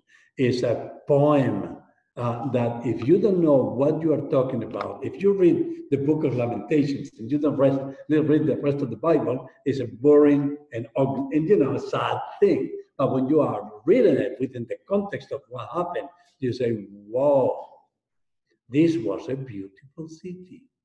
What happened?" And uh, so we arrive at the book of Lamentations, and from there we go to the next prophet. The next prophet is Ezekiel. Ezekiel had been taken to the exile, and he is in the exile. He is in Babylon when he um, when he prophesies the first thing that happened in chapter one, he sees the glory of God in Babylon. Chapter one. Chapter two, there is a messenger from God that takes the roll of the Bible, the papyrus, and tells Ezekiel, eat it, take and eat it. And he says, okay, he eat it and say, let it go into your veins, into your heart, into every part of your being. And don't be pagan like the rest of the people. Read your Bible, not only read it, but live it and enjoy it and be a child of God. Because if you don't have that, you don't have a story to tell. And then he said, Go and tell the people in exile to continue to repent that I am the God that is still with you. But guess what? They will not hear you. They will not understand. They will not care. In fact, it's as if you are sitting on scorpions. If if if looks could kill, you will be dead. And that's what happened with us when we present the gospel. And when he's in the midst of that, the helicopter comes up, picks up Ezekiel, and takes him to Jerusalem. The Spirit of the Lord takes uh, Ezekiel to Jerusalem. And in Jerusalem, he shows him all the sins of the priests and how horrible it is. And he shows the temple and he shows uh, Ezekiel that they had brought idols into the temple.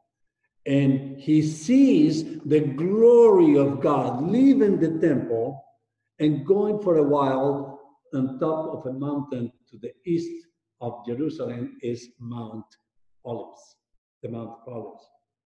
And the glory of God stands there for a little while and then continues it is interesting that in chapter 24 of Matthew, when Jesus leaves the temple for never to come back, people say, Look at those buildings, how beautiful they are. And they're right, they're buildings, they're not temple anymore. Because Jesus has left the temple as the glory of God has left those buildings. And Jesus said that there was no stone left upon stone. And then from the temple, Jesus goes to where? to the Mount of Olives to continue to teach disciples. What a comparison of the glory of God in Ezekiel and God Himself living in the temple. And then uh, a helicopter, the Spirit takes him, takes him back 900 miles, 800 miles to Babylon. And then he continues to preach to the people there and eventually Another helicopter takes him back to Jerusalem the Holy Spirit. And now he sees the renewal of Jerusalem. He sees the building of the new temple, the building of everything. And see, and he also sees now the glory of God coming back to the temple. He's all excited. And then he hears a trickle of water coming from the temple. He runs, he tries to run through the east gate, and the angel says, No, that's only for God. So he goes to the north, goes around and see the trickle of water. And the trickle of water becomes a brook, and then it becomes larger and larger, and a river that he cannot even swim in there. And this river goes to all over the world, bringing life is the gospel going everywhere and going to all the nations. So that's the way the gospel, the uh, Ezekiel ends. After Ezekiel comes a very interesting book, the book of Daniel. Daniel uh, eh, is also in the exile. He was taken with Ezekiel and, what, uh, and with the, uh, the first king that was taken in exile. And there uh, he sees, uh, he, he behaves well, the dietary uh, rules that uh, the Jewish people were supposed to keep, he is keeping them. And um, then, through a series of circumstances, um, uh, the, the, the, the, king has a dream that no one could guess what it was. And the reason why no one could guess is because the condition that the king gave is that in order for you to, to guess what my dream is all about, you have to tell me first what is it that I dream. that's, that's a tough one. And when he goes in front of the king, he says, Ah, so you can interpret dreams. He says, No. There is a God in heaven who does that. He gives the glory to God. And when he's trying to do that, he prays. Daniel, uh, obviously, you know the rest of the story, but Daniel is the one who quotes the word the Son of Man, chapter 7, verse 9 on. The Son of Man. And the Son of Man in Daniel is no one else but God Himself, the Son of God, the Lord Jesus. That's why Jesus called Himself always the Son of Man. And when you read that and the power of, the, of those of that chapter, you are almost in front of Job, looking at all the attributes of the Holy God. That's why Jesus called himself always the Son of Man.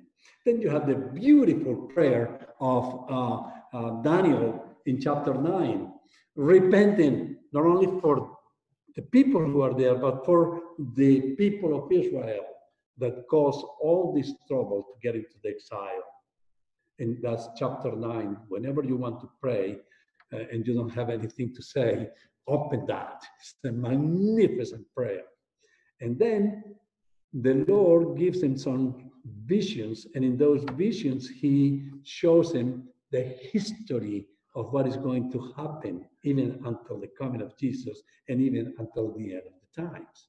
But interesting thing is that he shows him uh, four beasts, four kingdoms. He has a ram, and the ram is the Persians, who are who they think that they are extremely powerful until somebody comes from Greece and is Alex, Ale, Alexander the Great. And then it comes the empire of the Greeks taking over the Persians. And then Alexander the Great goes on and conquers Palestine. And he dies. I mean, no one could really stand Alexander the Great. And when Palestine is under Alexander the Great, Alexander the Great dies, and he leaves four generals who divides uh, Palestine into four kingdoms. And the Seleucians come and they burn a pig in the altar of the temple. Whoa! Whoa! That is the worst insult that you can do to the Jewish people and to God. A holy place. And then the uh, Maccabees revolt. And then it comes another empire. Uh, pardon me, before that was the Assyrians, but finally comes the Roman Empire. And they take over, and then uh, it shows the coming of the Lord Jesus during that, and then the um, abomination of desolation indicating 70 AD. It is magnificent. When we talk about the Bible and say, ha ha ha, that is a circular argument because the Bible proves the Bible, here you see that history proves, demonstrates the truth of the Bible. Isn't that exciting? Maybe I'm too, but it's magnificent. Okay. After Daniel come, what's his name? Hosea, Hosea. I say here Hosea. Hosea. Hosea, God is the is God showing his his covenant, his mercy for his people. He asked Hosea to go and marry an impure woman. This woman marries him and then he she moves away and runs into all kind of immorality and prostitution and she ends in the worst of cases sold as, as a slave in the open market naked destroyed ugly and god ordered hosea to go and buy her You know, when you add the amount that he paid for, it's almost 30 pieces of silver. How did you like that? You know, and buys her back and takes and, and loved her and say, I'll do this because of my covenant. Well, that's us. That woman is us, the church. We come to Christ and then we go back into sin. And he doesn't let us go. He goes and buys them. And the sovereignty of God keeps us there. That's Hosea. Then, um, obviously, Gomer, which is us, uh, falls into spiritual idolatry, which is the message of uh, prostitution that is called in. Then we come with the uh, prophet Joel, who lived in year 835 or something like that. And he talks about the day of the Lord and the coming also of the Holy Spirit. And interesting enough, when the Holy Spirit comes in Pentecost and Peter gives that sermon, he quotes Joel and, and, and, and see the coming of the Holy Spirit. Obviously, he has a number of visions uh, uh, and um, uh, and it's um, uh, Joel uh, also shows how the nation of Palestine uh, is going to be established because of rebellion. Then we have Amos. Amos is a man who is a man who cultivates the land. He doesn't know that much letters, but God called him, and he God calls him to uh, express judgment against the Moabites. The Moabites laugh at the way uh, the, the kingdom of the north was going away and how did they attack the Moabites. And uh, uh, Amos see uh, three visions, the uh, also and finally the hand of God with measuring the people. And then after Amos, we have Jonah. Jonah lived in the kingdom of the north, in Israel. And Israel hated is, uh, Assyria, Assyria because they were violent against the Israelites. So Jonah hated also the Assyrians. Oh, pardon me. Obadiah comes before Jonah. Sorry. Um, you're right.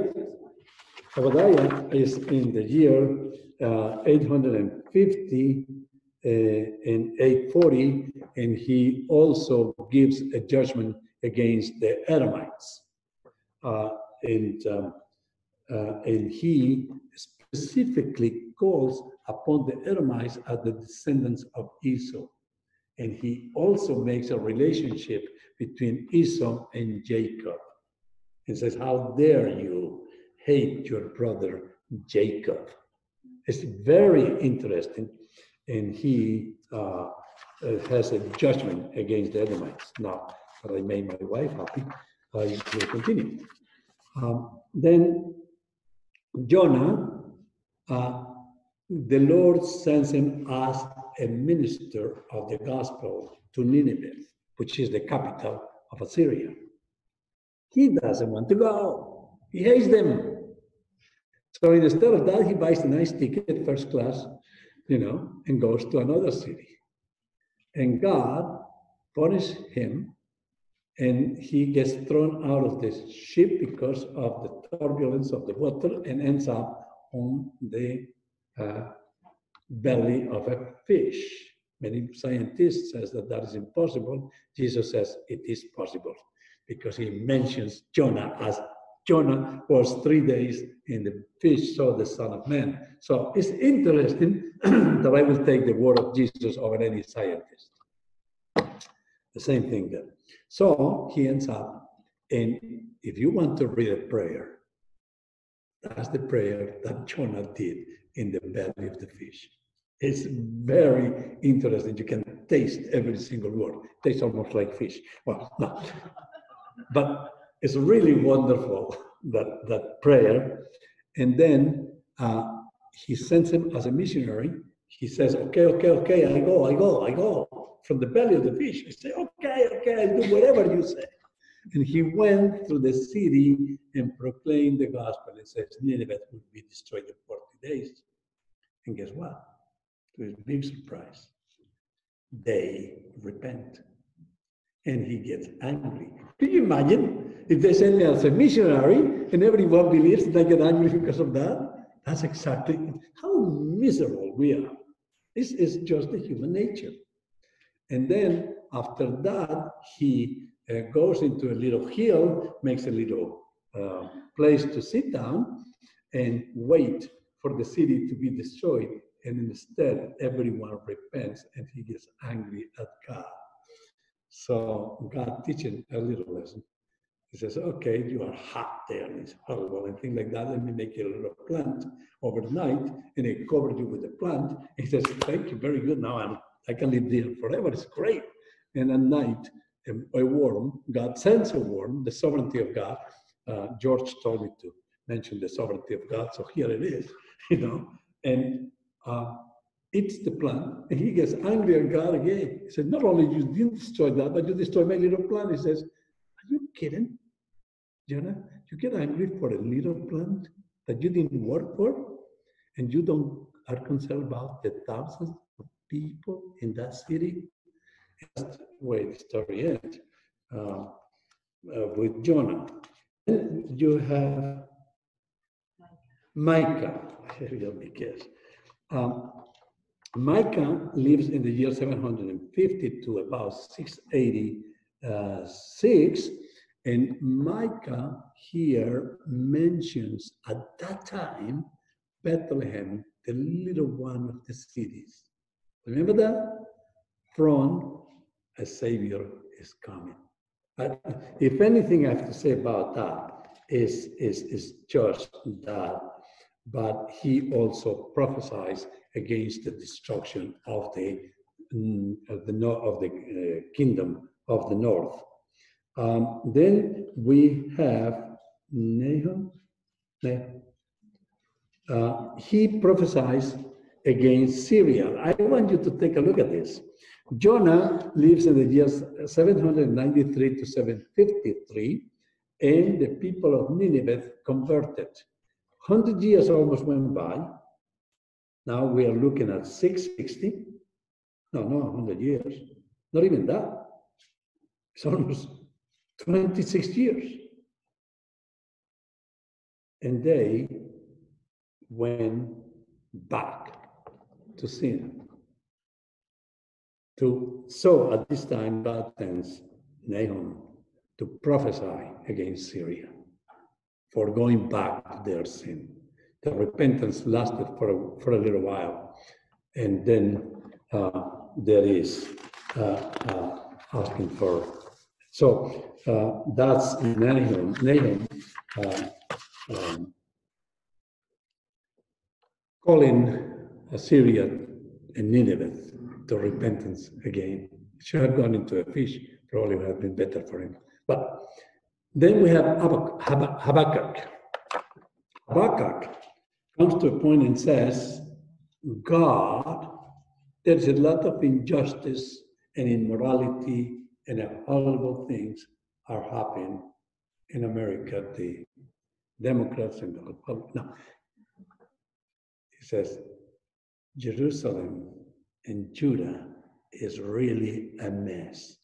Would you, God, help us, help us correct this nation? And God says, Yes, thank you very much. I thought that you were never going to ask. I am going to send you the Babylonians, who are a terrible nation, uh, fighters that will destroy even your children, will throw into the rocks. Okay, he said, wait a second. Are you going to use people worse than we are to destroy us? Less just than we? How do you like that question? And God says, Yes, yes, they will be my instruments of discipline. I just pray that God use this, what is happening now with this pandemic, as an instrument of discipline. People, God calling people to the Lord.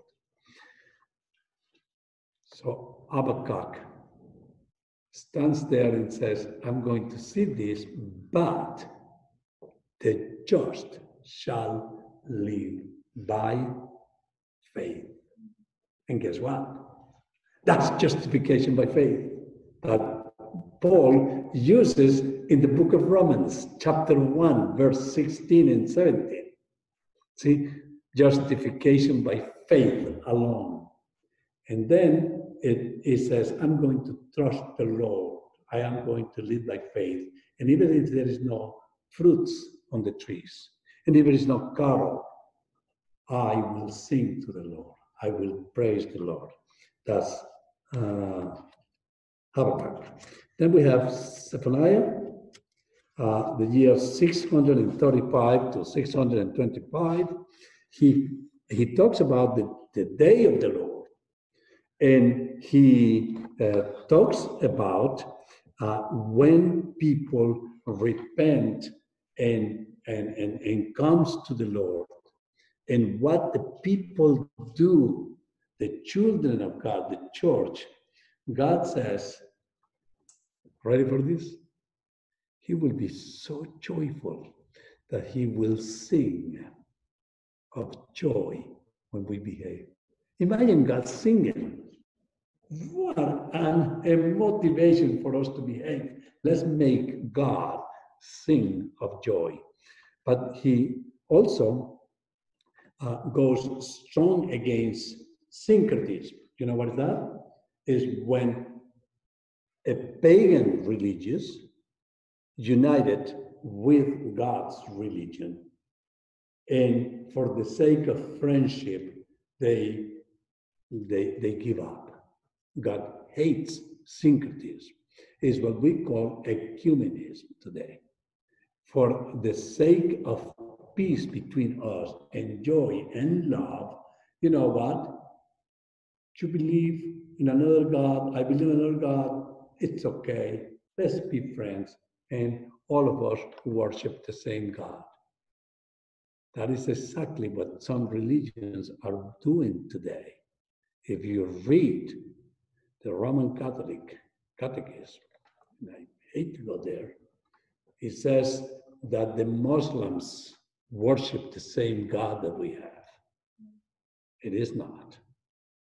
And that the Jewish people are our brothers because are the chosen people of God, even though they don't believe that Jesus is divine, is the Messiah.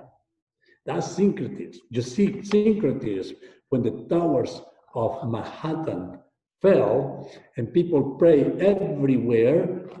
Different people from different religions got together to pray, but they refused to pray in the name of whom? Of Jesus, because Jesus was the enemy. That's syncretism. That's ecumenism. Okay, I think you're going to remember Zephaniah. it's big on that. Then um, we have uh, Haggai.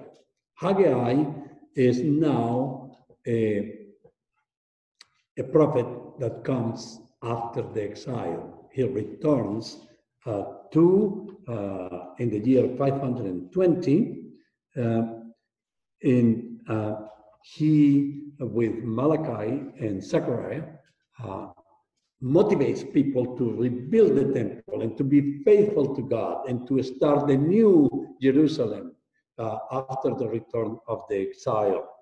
Uh, and that is the year 520. We are getting close to the year 400 when the Old Testament ends.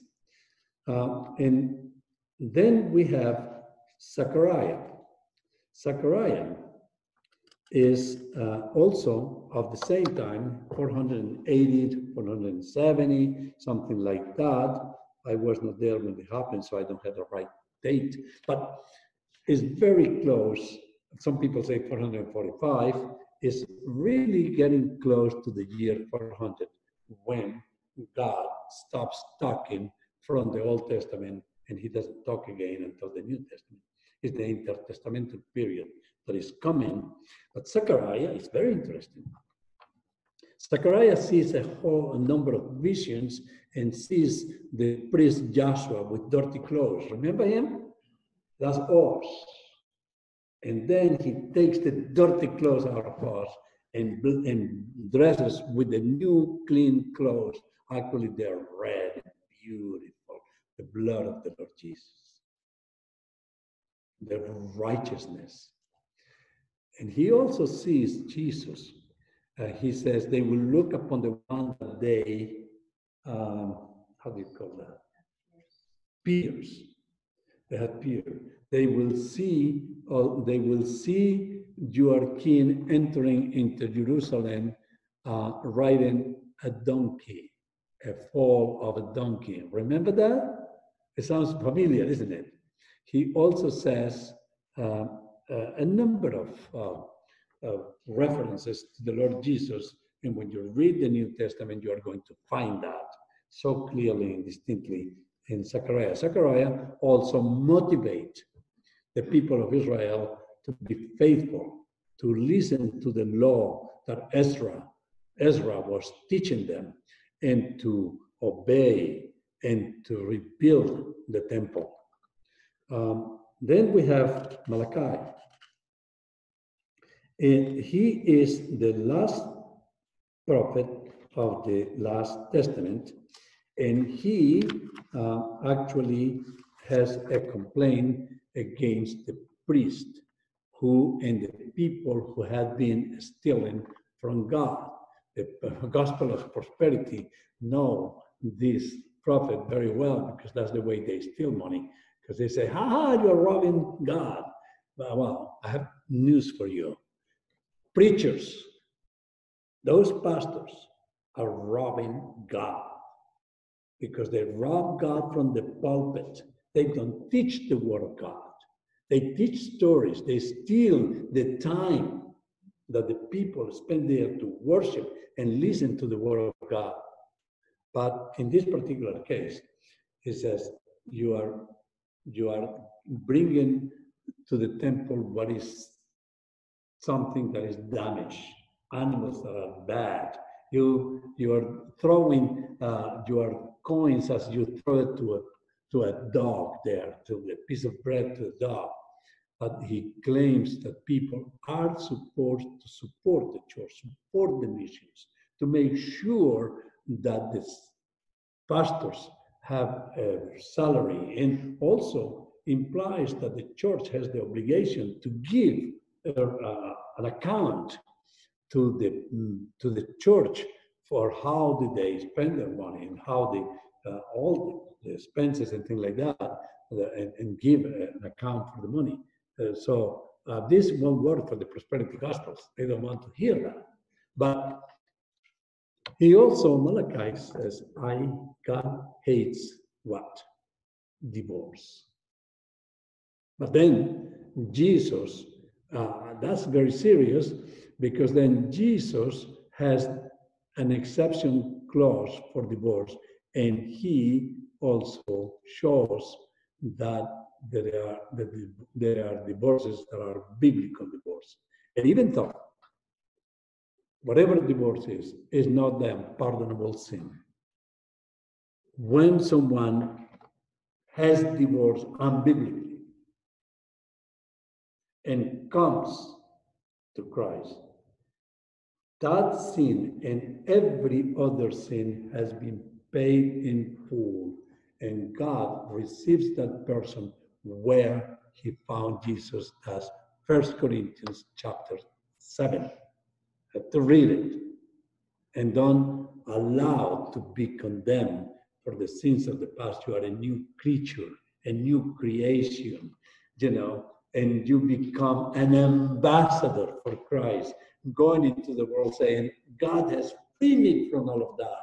So now I can show the glory of God, I can show the gospel. Uh, so um, don't let anything condemn you. The only sin that is not, cannot be forgiven is what? Blasphemy against the Holy Spirit. And R.C. Sproul says, I have bad news and good news. You want to hear the good news first? He says, No, let me give you the bad news first. The bad news is that every Christian is capable of committing the sin of blasphemy. And the good news is that every Christian cannot commit the blasphemy of the Holy Spirit because God has saved you and He doesn't change His mind. and the blasphemy of the Holy Spirit is the lack of unbelief. Is when someone is exposed to the power of the Holy Spirit, listening to the gospel, hear the gospel clearly and distinctly, like in Hebrews chapter 10, and rejects the gospel and dies without accepting the promise of the Holy Spirit. That's a blasphemy against the Holy Spirit.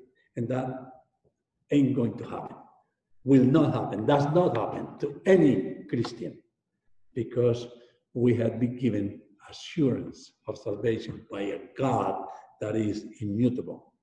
There are two other uh, prophets that we didn't mention, but we uh, have to mention. One is Elijah and Elijah and Elisha. And they were prophets that lived in the year 874 and 848 in the northern kingdom. And these prophets had a lot to do with a very ugly, bad king. What was his name? Ahab. And uh, when Elijah did about seven miracles and actually uh, condemned the actions of the kings of the north, especially Ahab. Then Elisha told him, I said, Do you have anything to ask? He says, May ask the Lord to give me double of the spirit of what he has given you. And guess what? And hear something interesting? Elijah did seven miracles. You want to know how many miracles Elisha did? You know that. Double. How much is that? 14. It's, it's very interesting. So, uh, with that, we finish the Old Testament. Uh, and we have 25 minutes. We can jump into the New Testament. Uh, 400 years pass from the Old Testament to the New Testament, and I am going to give you a test that RC gives to his gave to his students quite often, and the question is, what is the last prophet of the Old Testament?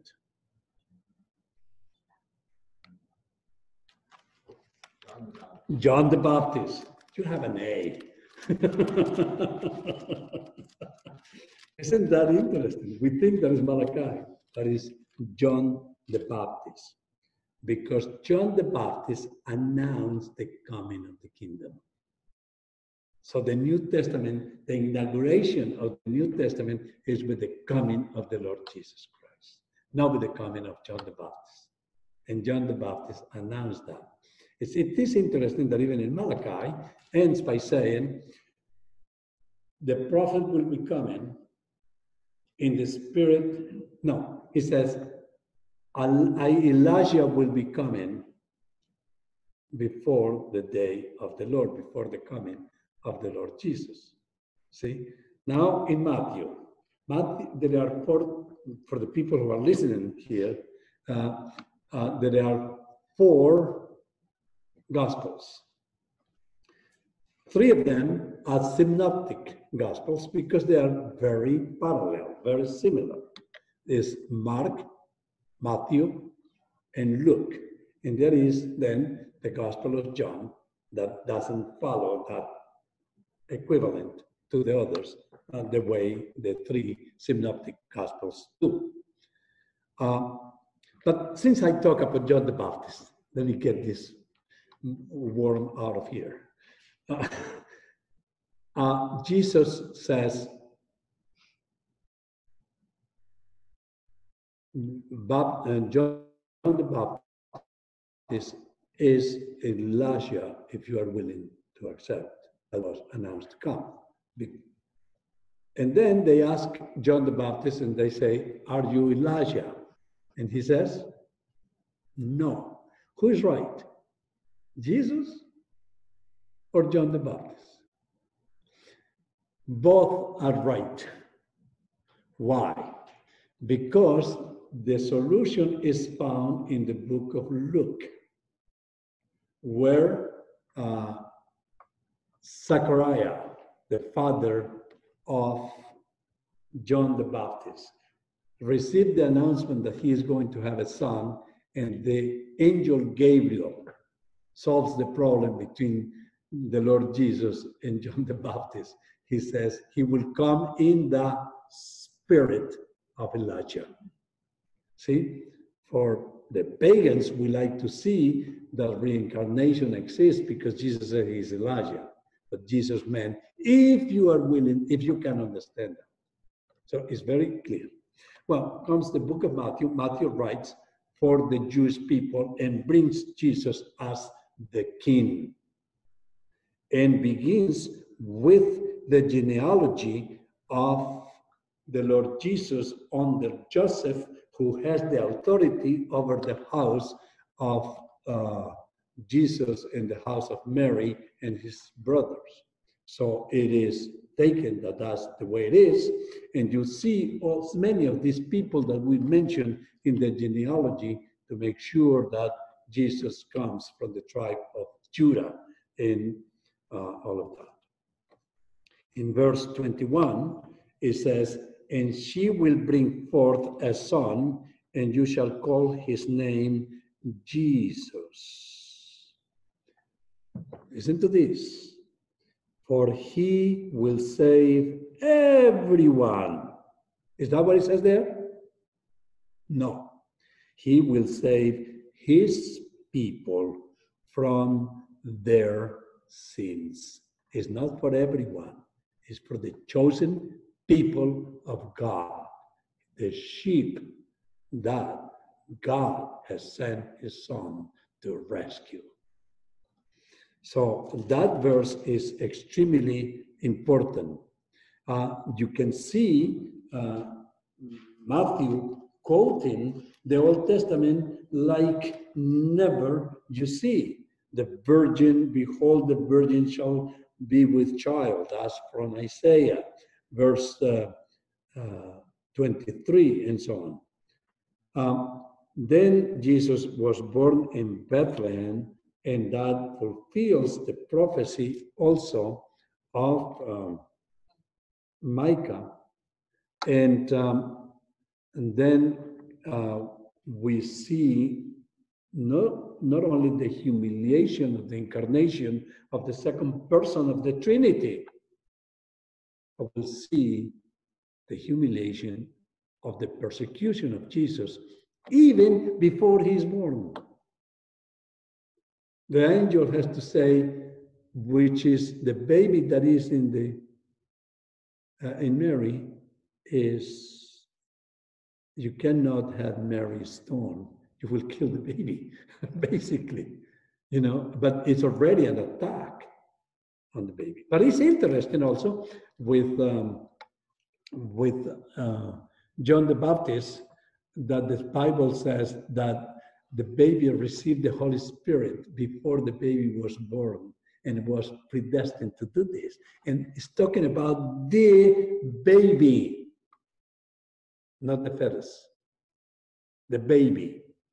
So, abortion is not just killing a fetus, fetus, but it is killing a baby.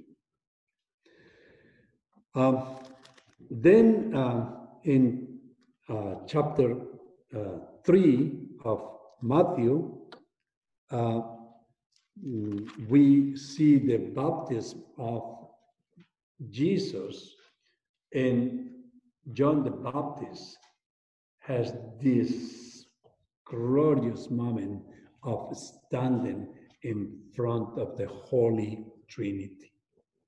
He hears the voice of the Father.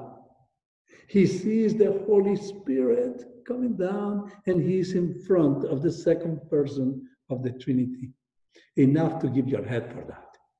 You know, it's, it's, it's an amazing thing seeing the glory of Christ. And then uh, Jesus in chapter 4 is taken to be tempted by the devil, but is carried by the Holy Spirit. For that reason is the ministry of the Holy Spirit that counts. I'm so glad to have um, Dr. Sinclair Ferguson uh, next Saturday uh, were, um, giving a lecture to SRL seminar in South America with me. Uh, and I love when he talks about the ministry of the Holy Spirit. I love this part. He says, when Jesus, you know, I, I, I love his English. When Jesus arrives in heaven in his glory and is received with a tremendous party, and the Father says, Well done, my son. Great. And he says, Daddy, I did your will. And I like you to fulfill now what you promised me. What did I promise you, son? You promised me to send the counselor. Promised me to send the Holy Spirit. I says, Oh, yeah, in 10 days. you know, and sends the Holy Spirit in Pentecost. Of course, this this is not what the Bible says. That's what uh, Sinclair Ferguson explained. But isn't that beautiful, though? It make you. In any event, he's tempted, and at the temptation of Jesus, Jesus refutes Satan with the Bible. He says, It is written. It is written. It is written. And Satan gets frustrated and says, but it's also written. he attacks Jesus also with the Bible, using it out of context. That's exactly what the enemies of the Bible do today, and the pastors who are not doing. And then it comes from chapter 5 to chapter 7, a tremendous discourse of the Lord Jesus that is called the Sermon on the Mount. And here, Jesus says, I did not come to destroy the law, but to fulfill it, complete. And he raises the bar of the Ten Commandments. It had been said to you, You shall not kill. But I say to you that if you speak evil of your brother, you have killed your brother. Having said, do not commit adultery, that in Exodus 20. And then he says, but I tell you that if you have impure thoughts, you already have committed adultery. And so just raises the bar. And then you have the Beatitudes There is a tremendous uh, passage. Uh, you have uh, a number of um, uh, this, this is a, uh, this, this is a sermon could be, you, you have to read it in one sitting and really look the beauty, the, uh, the uh, prescription for sanctification. You have uh, salvation is once for all when we are regenerated and we are born again. And then comes the process of sanctification. And the Lord Jesus here presents this magnificent process of sanctification. And then you have uh, the number of miracles that Jesus does, beginning in chapter 8. And uh, uh, he also, remember, calms the seas when he is, uh, he walks on the sea, that's once, and the other time he is sleeping inside the boat. And both times the disciples are greatly afraid because of the torment of the sea. But then when they see Jesus with the power over nature, they become even more afraid. And ah, when you see that, you have to go back to Job 38 39, 40, you know, when you see the power of God creating the mountains, creating everything, creating the constellation, creating, even says that the world is round. We didn't discover that until Galilee, you know, and yet you see that power. That business of calming the waters is a piece of cake. You know, after he is the uh, and then, uh, then they bring Jesus to a, bring him a paralytic. And after so many efforts to bring him down, uh, he encounters him and instead of healing him right there, he says, Your sins are forgiven. He Says, Who is that man who forgives sins? Only God does. And he says, Okay, so you'll see that the Son of Man has power to forgive sins Get up, take bed, and go. Oh, I, I, I would have loved to see that. I would love to see them open a hole on the, on the, on the roof, bringing him down. It takes, it takes four people to take him to Jesus. How many do we need to take us to Jesus? The dangerous thing is to wait until four or six men take anyone to church after they're dead without going to Jesus. It takes at least six months. Six well, for me, that I'm tall and short, so four men will be sufficient. But okay. Uh, then Jesus, uh, in chapter 10, after many miracles, he wants to send his disciples and he says, Go. And he tells very much the same thing that happened to Isaiah and that happened to Jeremiah and to Ezekiel. Go and you are going to have a great time. Everyone is going to welcome you. They're going to kiss you. They are going to give you hot chocolate, even Colombian coffee. No. Go, but they will not receive you. They will hate you. They will, they will persecute you. But don't you worry, I will be with you always. And if they persecute me, well, why you worry about being persecuted? Just confess me, because if you confess me in front of men, I will confess you in front of my angels and my Father in heaven.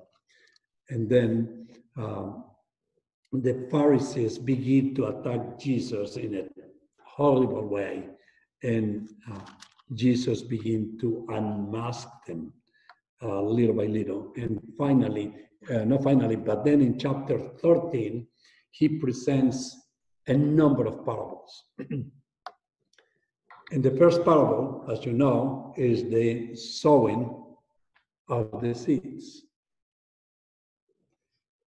And when he finished teaching this parable, the disciples said, What do you mean by that?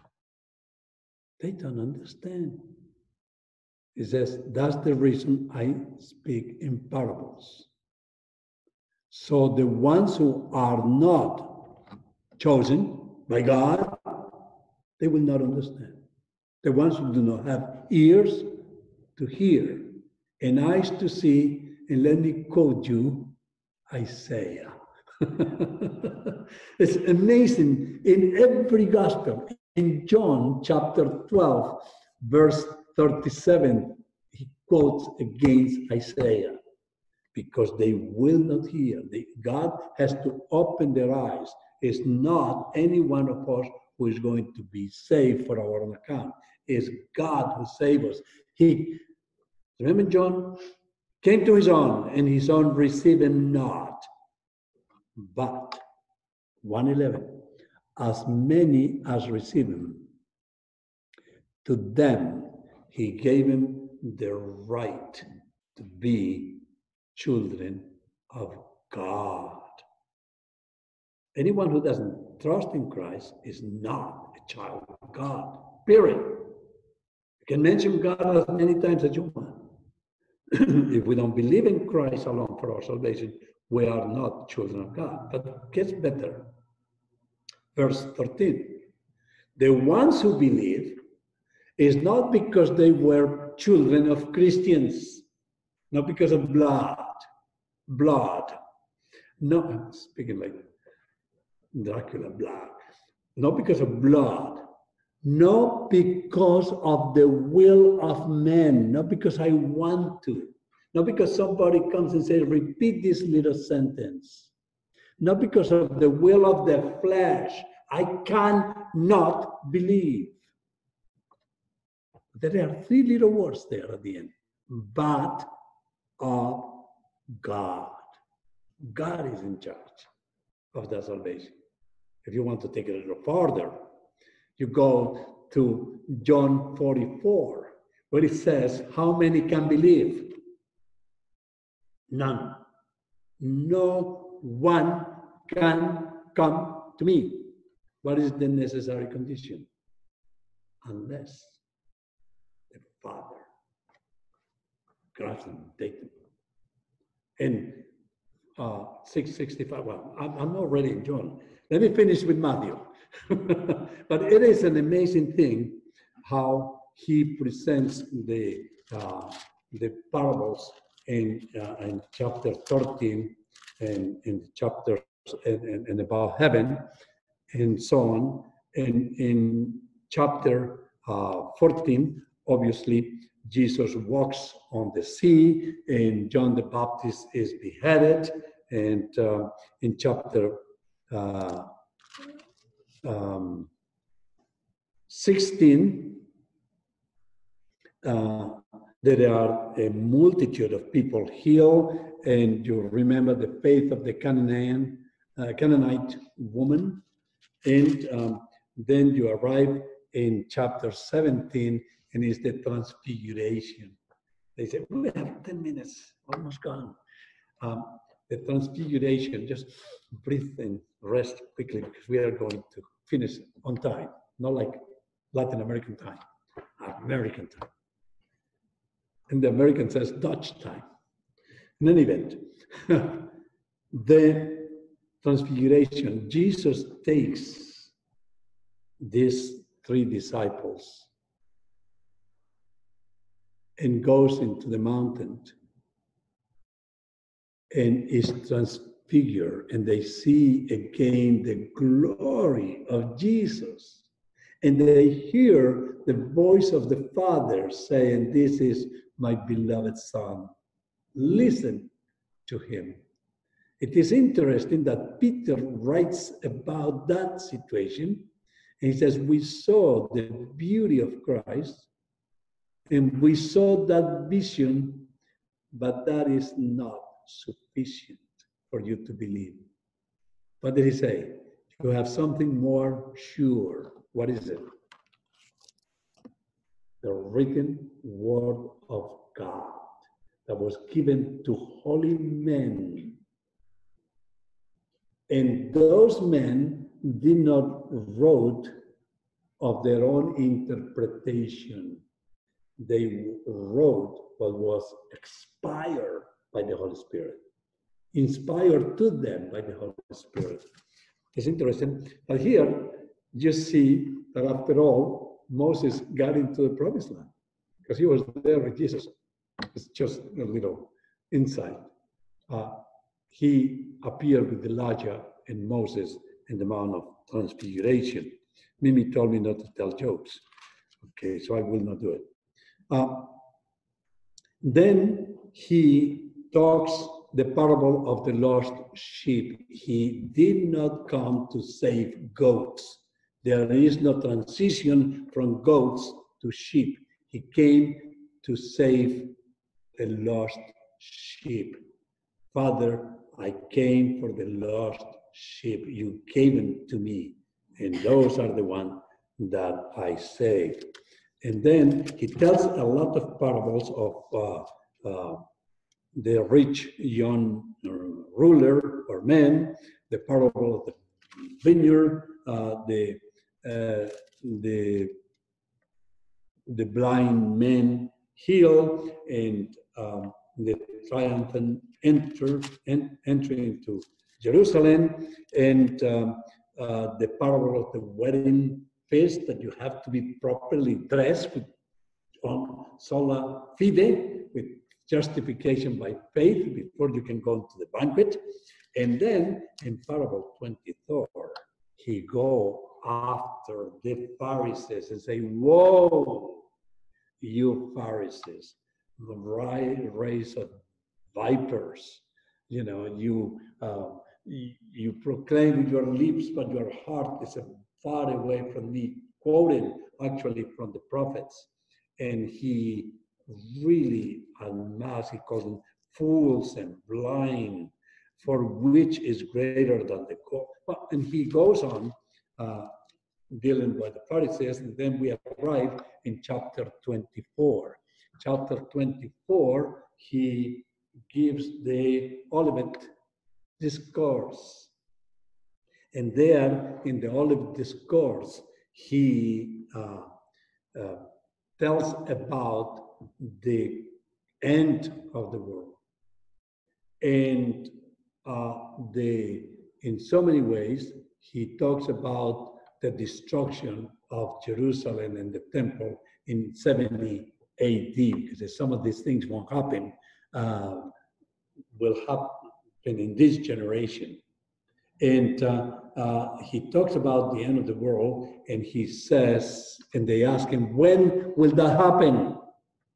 And what does he say? I don't know. But you are the Son of God. You should know. Say, I don't know. Why? Yes, two natures the human nature and the divine nature. And the divine nature informs the human nature. And in that particular case, only God had, Father had that. So any any charlatan that comes around telling us when the last day is going to be, you know, don't believe. In fact, Jesus says, be careful not to believe anybody because many will come telling you things to deceive you, to deceive even who? The chosen one. To deceive even the elect. And then he adds something. There's another period there. If that was possible, nobody, absolutely nobody, can deceive the Christians because we never lose our salvation. He continues to give more parables about the kingdom. Um, and uh, in chapter uh, 26, he explained the difference between the sheep and the goats and what is going to happen at the last day, that he will separate the sheep from the goats and um, so on. Then um, finally comes the prayer in Gethsemane, the last, the Thursday before uh, his death. And he says, Daddy, Daddy, if it is possible, pass this cup from me. He said, Father, if there is any other way to save anybody, do not kill me. Don't make me drink the sins of all the people who are going to believe in me. That's why you have other things there. You have the priest, you have your words, you have the purgatory, you have this. No. The answer was no, there is no other way. And he was there looking uh, you wish to be there. On the right hand, depends on the position that he was, you'll see the Mount of Olives. On the other hand, you see the Mount of Calvary. He's there, knowing that from the olives he will go to heaven, and from Calvary he will suffer. He was saying, Daddy, Daddy, Father, don't do it. But not my will, but your will, because that's what I came to do. Your will. And then the next day, he is at the cross. And he doesn't say, Daddy. He says, He's in front of a judge. He's judging with his wrath all our sin. And the wrath of God came upon him instead of us. And he says in front of that judge, My God, my God, why? Wow. He should have mentioned our name, but he didn't say anything. And when everything was finished, he said, It is finished, it is completed. And he goes back to the relationship with Daddy. He says, Daddy, into your hands I commit my spirit. Wow! it is it is magnificent. And the veil of the temple ripped apart. And through the veil of the body of Jesus, we can go directly to God without any intercessor but the Lord Jesus Christ. What a wonderful thing. And then he resurrects. And then he is ready to ascend into heaven and said, Noé, and put your name in there. The only reason why I save you is because of the covenant. And I save you so you will go and present this gospel in Jerusalem, in Samaria, in France, in South America, in Asia, to the ends of the world. The Great Commission. And if anyone is embarrassed of my gospel, or of me, I will be embarrassed in front of my daddy. He says, Paul says in Romans 1, because I am not ashamed of the gospel. What is the gospel? Jesus, the person of Jesus and his work. Because it is the power of God unto salvation for whom? For those who believe. For the Jew and for the and for the not Jew. See, it's the because justification will be by faith alone in this Jesus that God willing will see clearly the next time that we meet when we review a little bit of the Old Testament and see Jesus in every page of the Bible. In that Jesus, justification by faith alone, because he quotes Habakkuk, the just shall live by faith. Let's pray. Heavenly Father, thank you for allowing us to arrive to your magnificent Gospel of Matthew. Oh Lord, our God, how wonderful is your plan of salvation. Your ways are higher than our ways. Your thoughts higher than our thoughts. Who could invent a plan of salvation so perfect? It is with gratitude that we approach your book and we thank you for allowing us to have ears to hear, and eyes to see, and hearts to understand. Thank you for the regeneration that you have given us to trust in Christ alone for our salvation. And it is in His name that we thank you. Amen. Okay, I hope you come back on the 22nd and we'll go through the rest. It is, it is, it is a gift from God.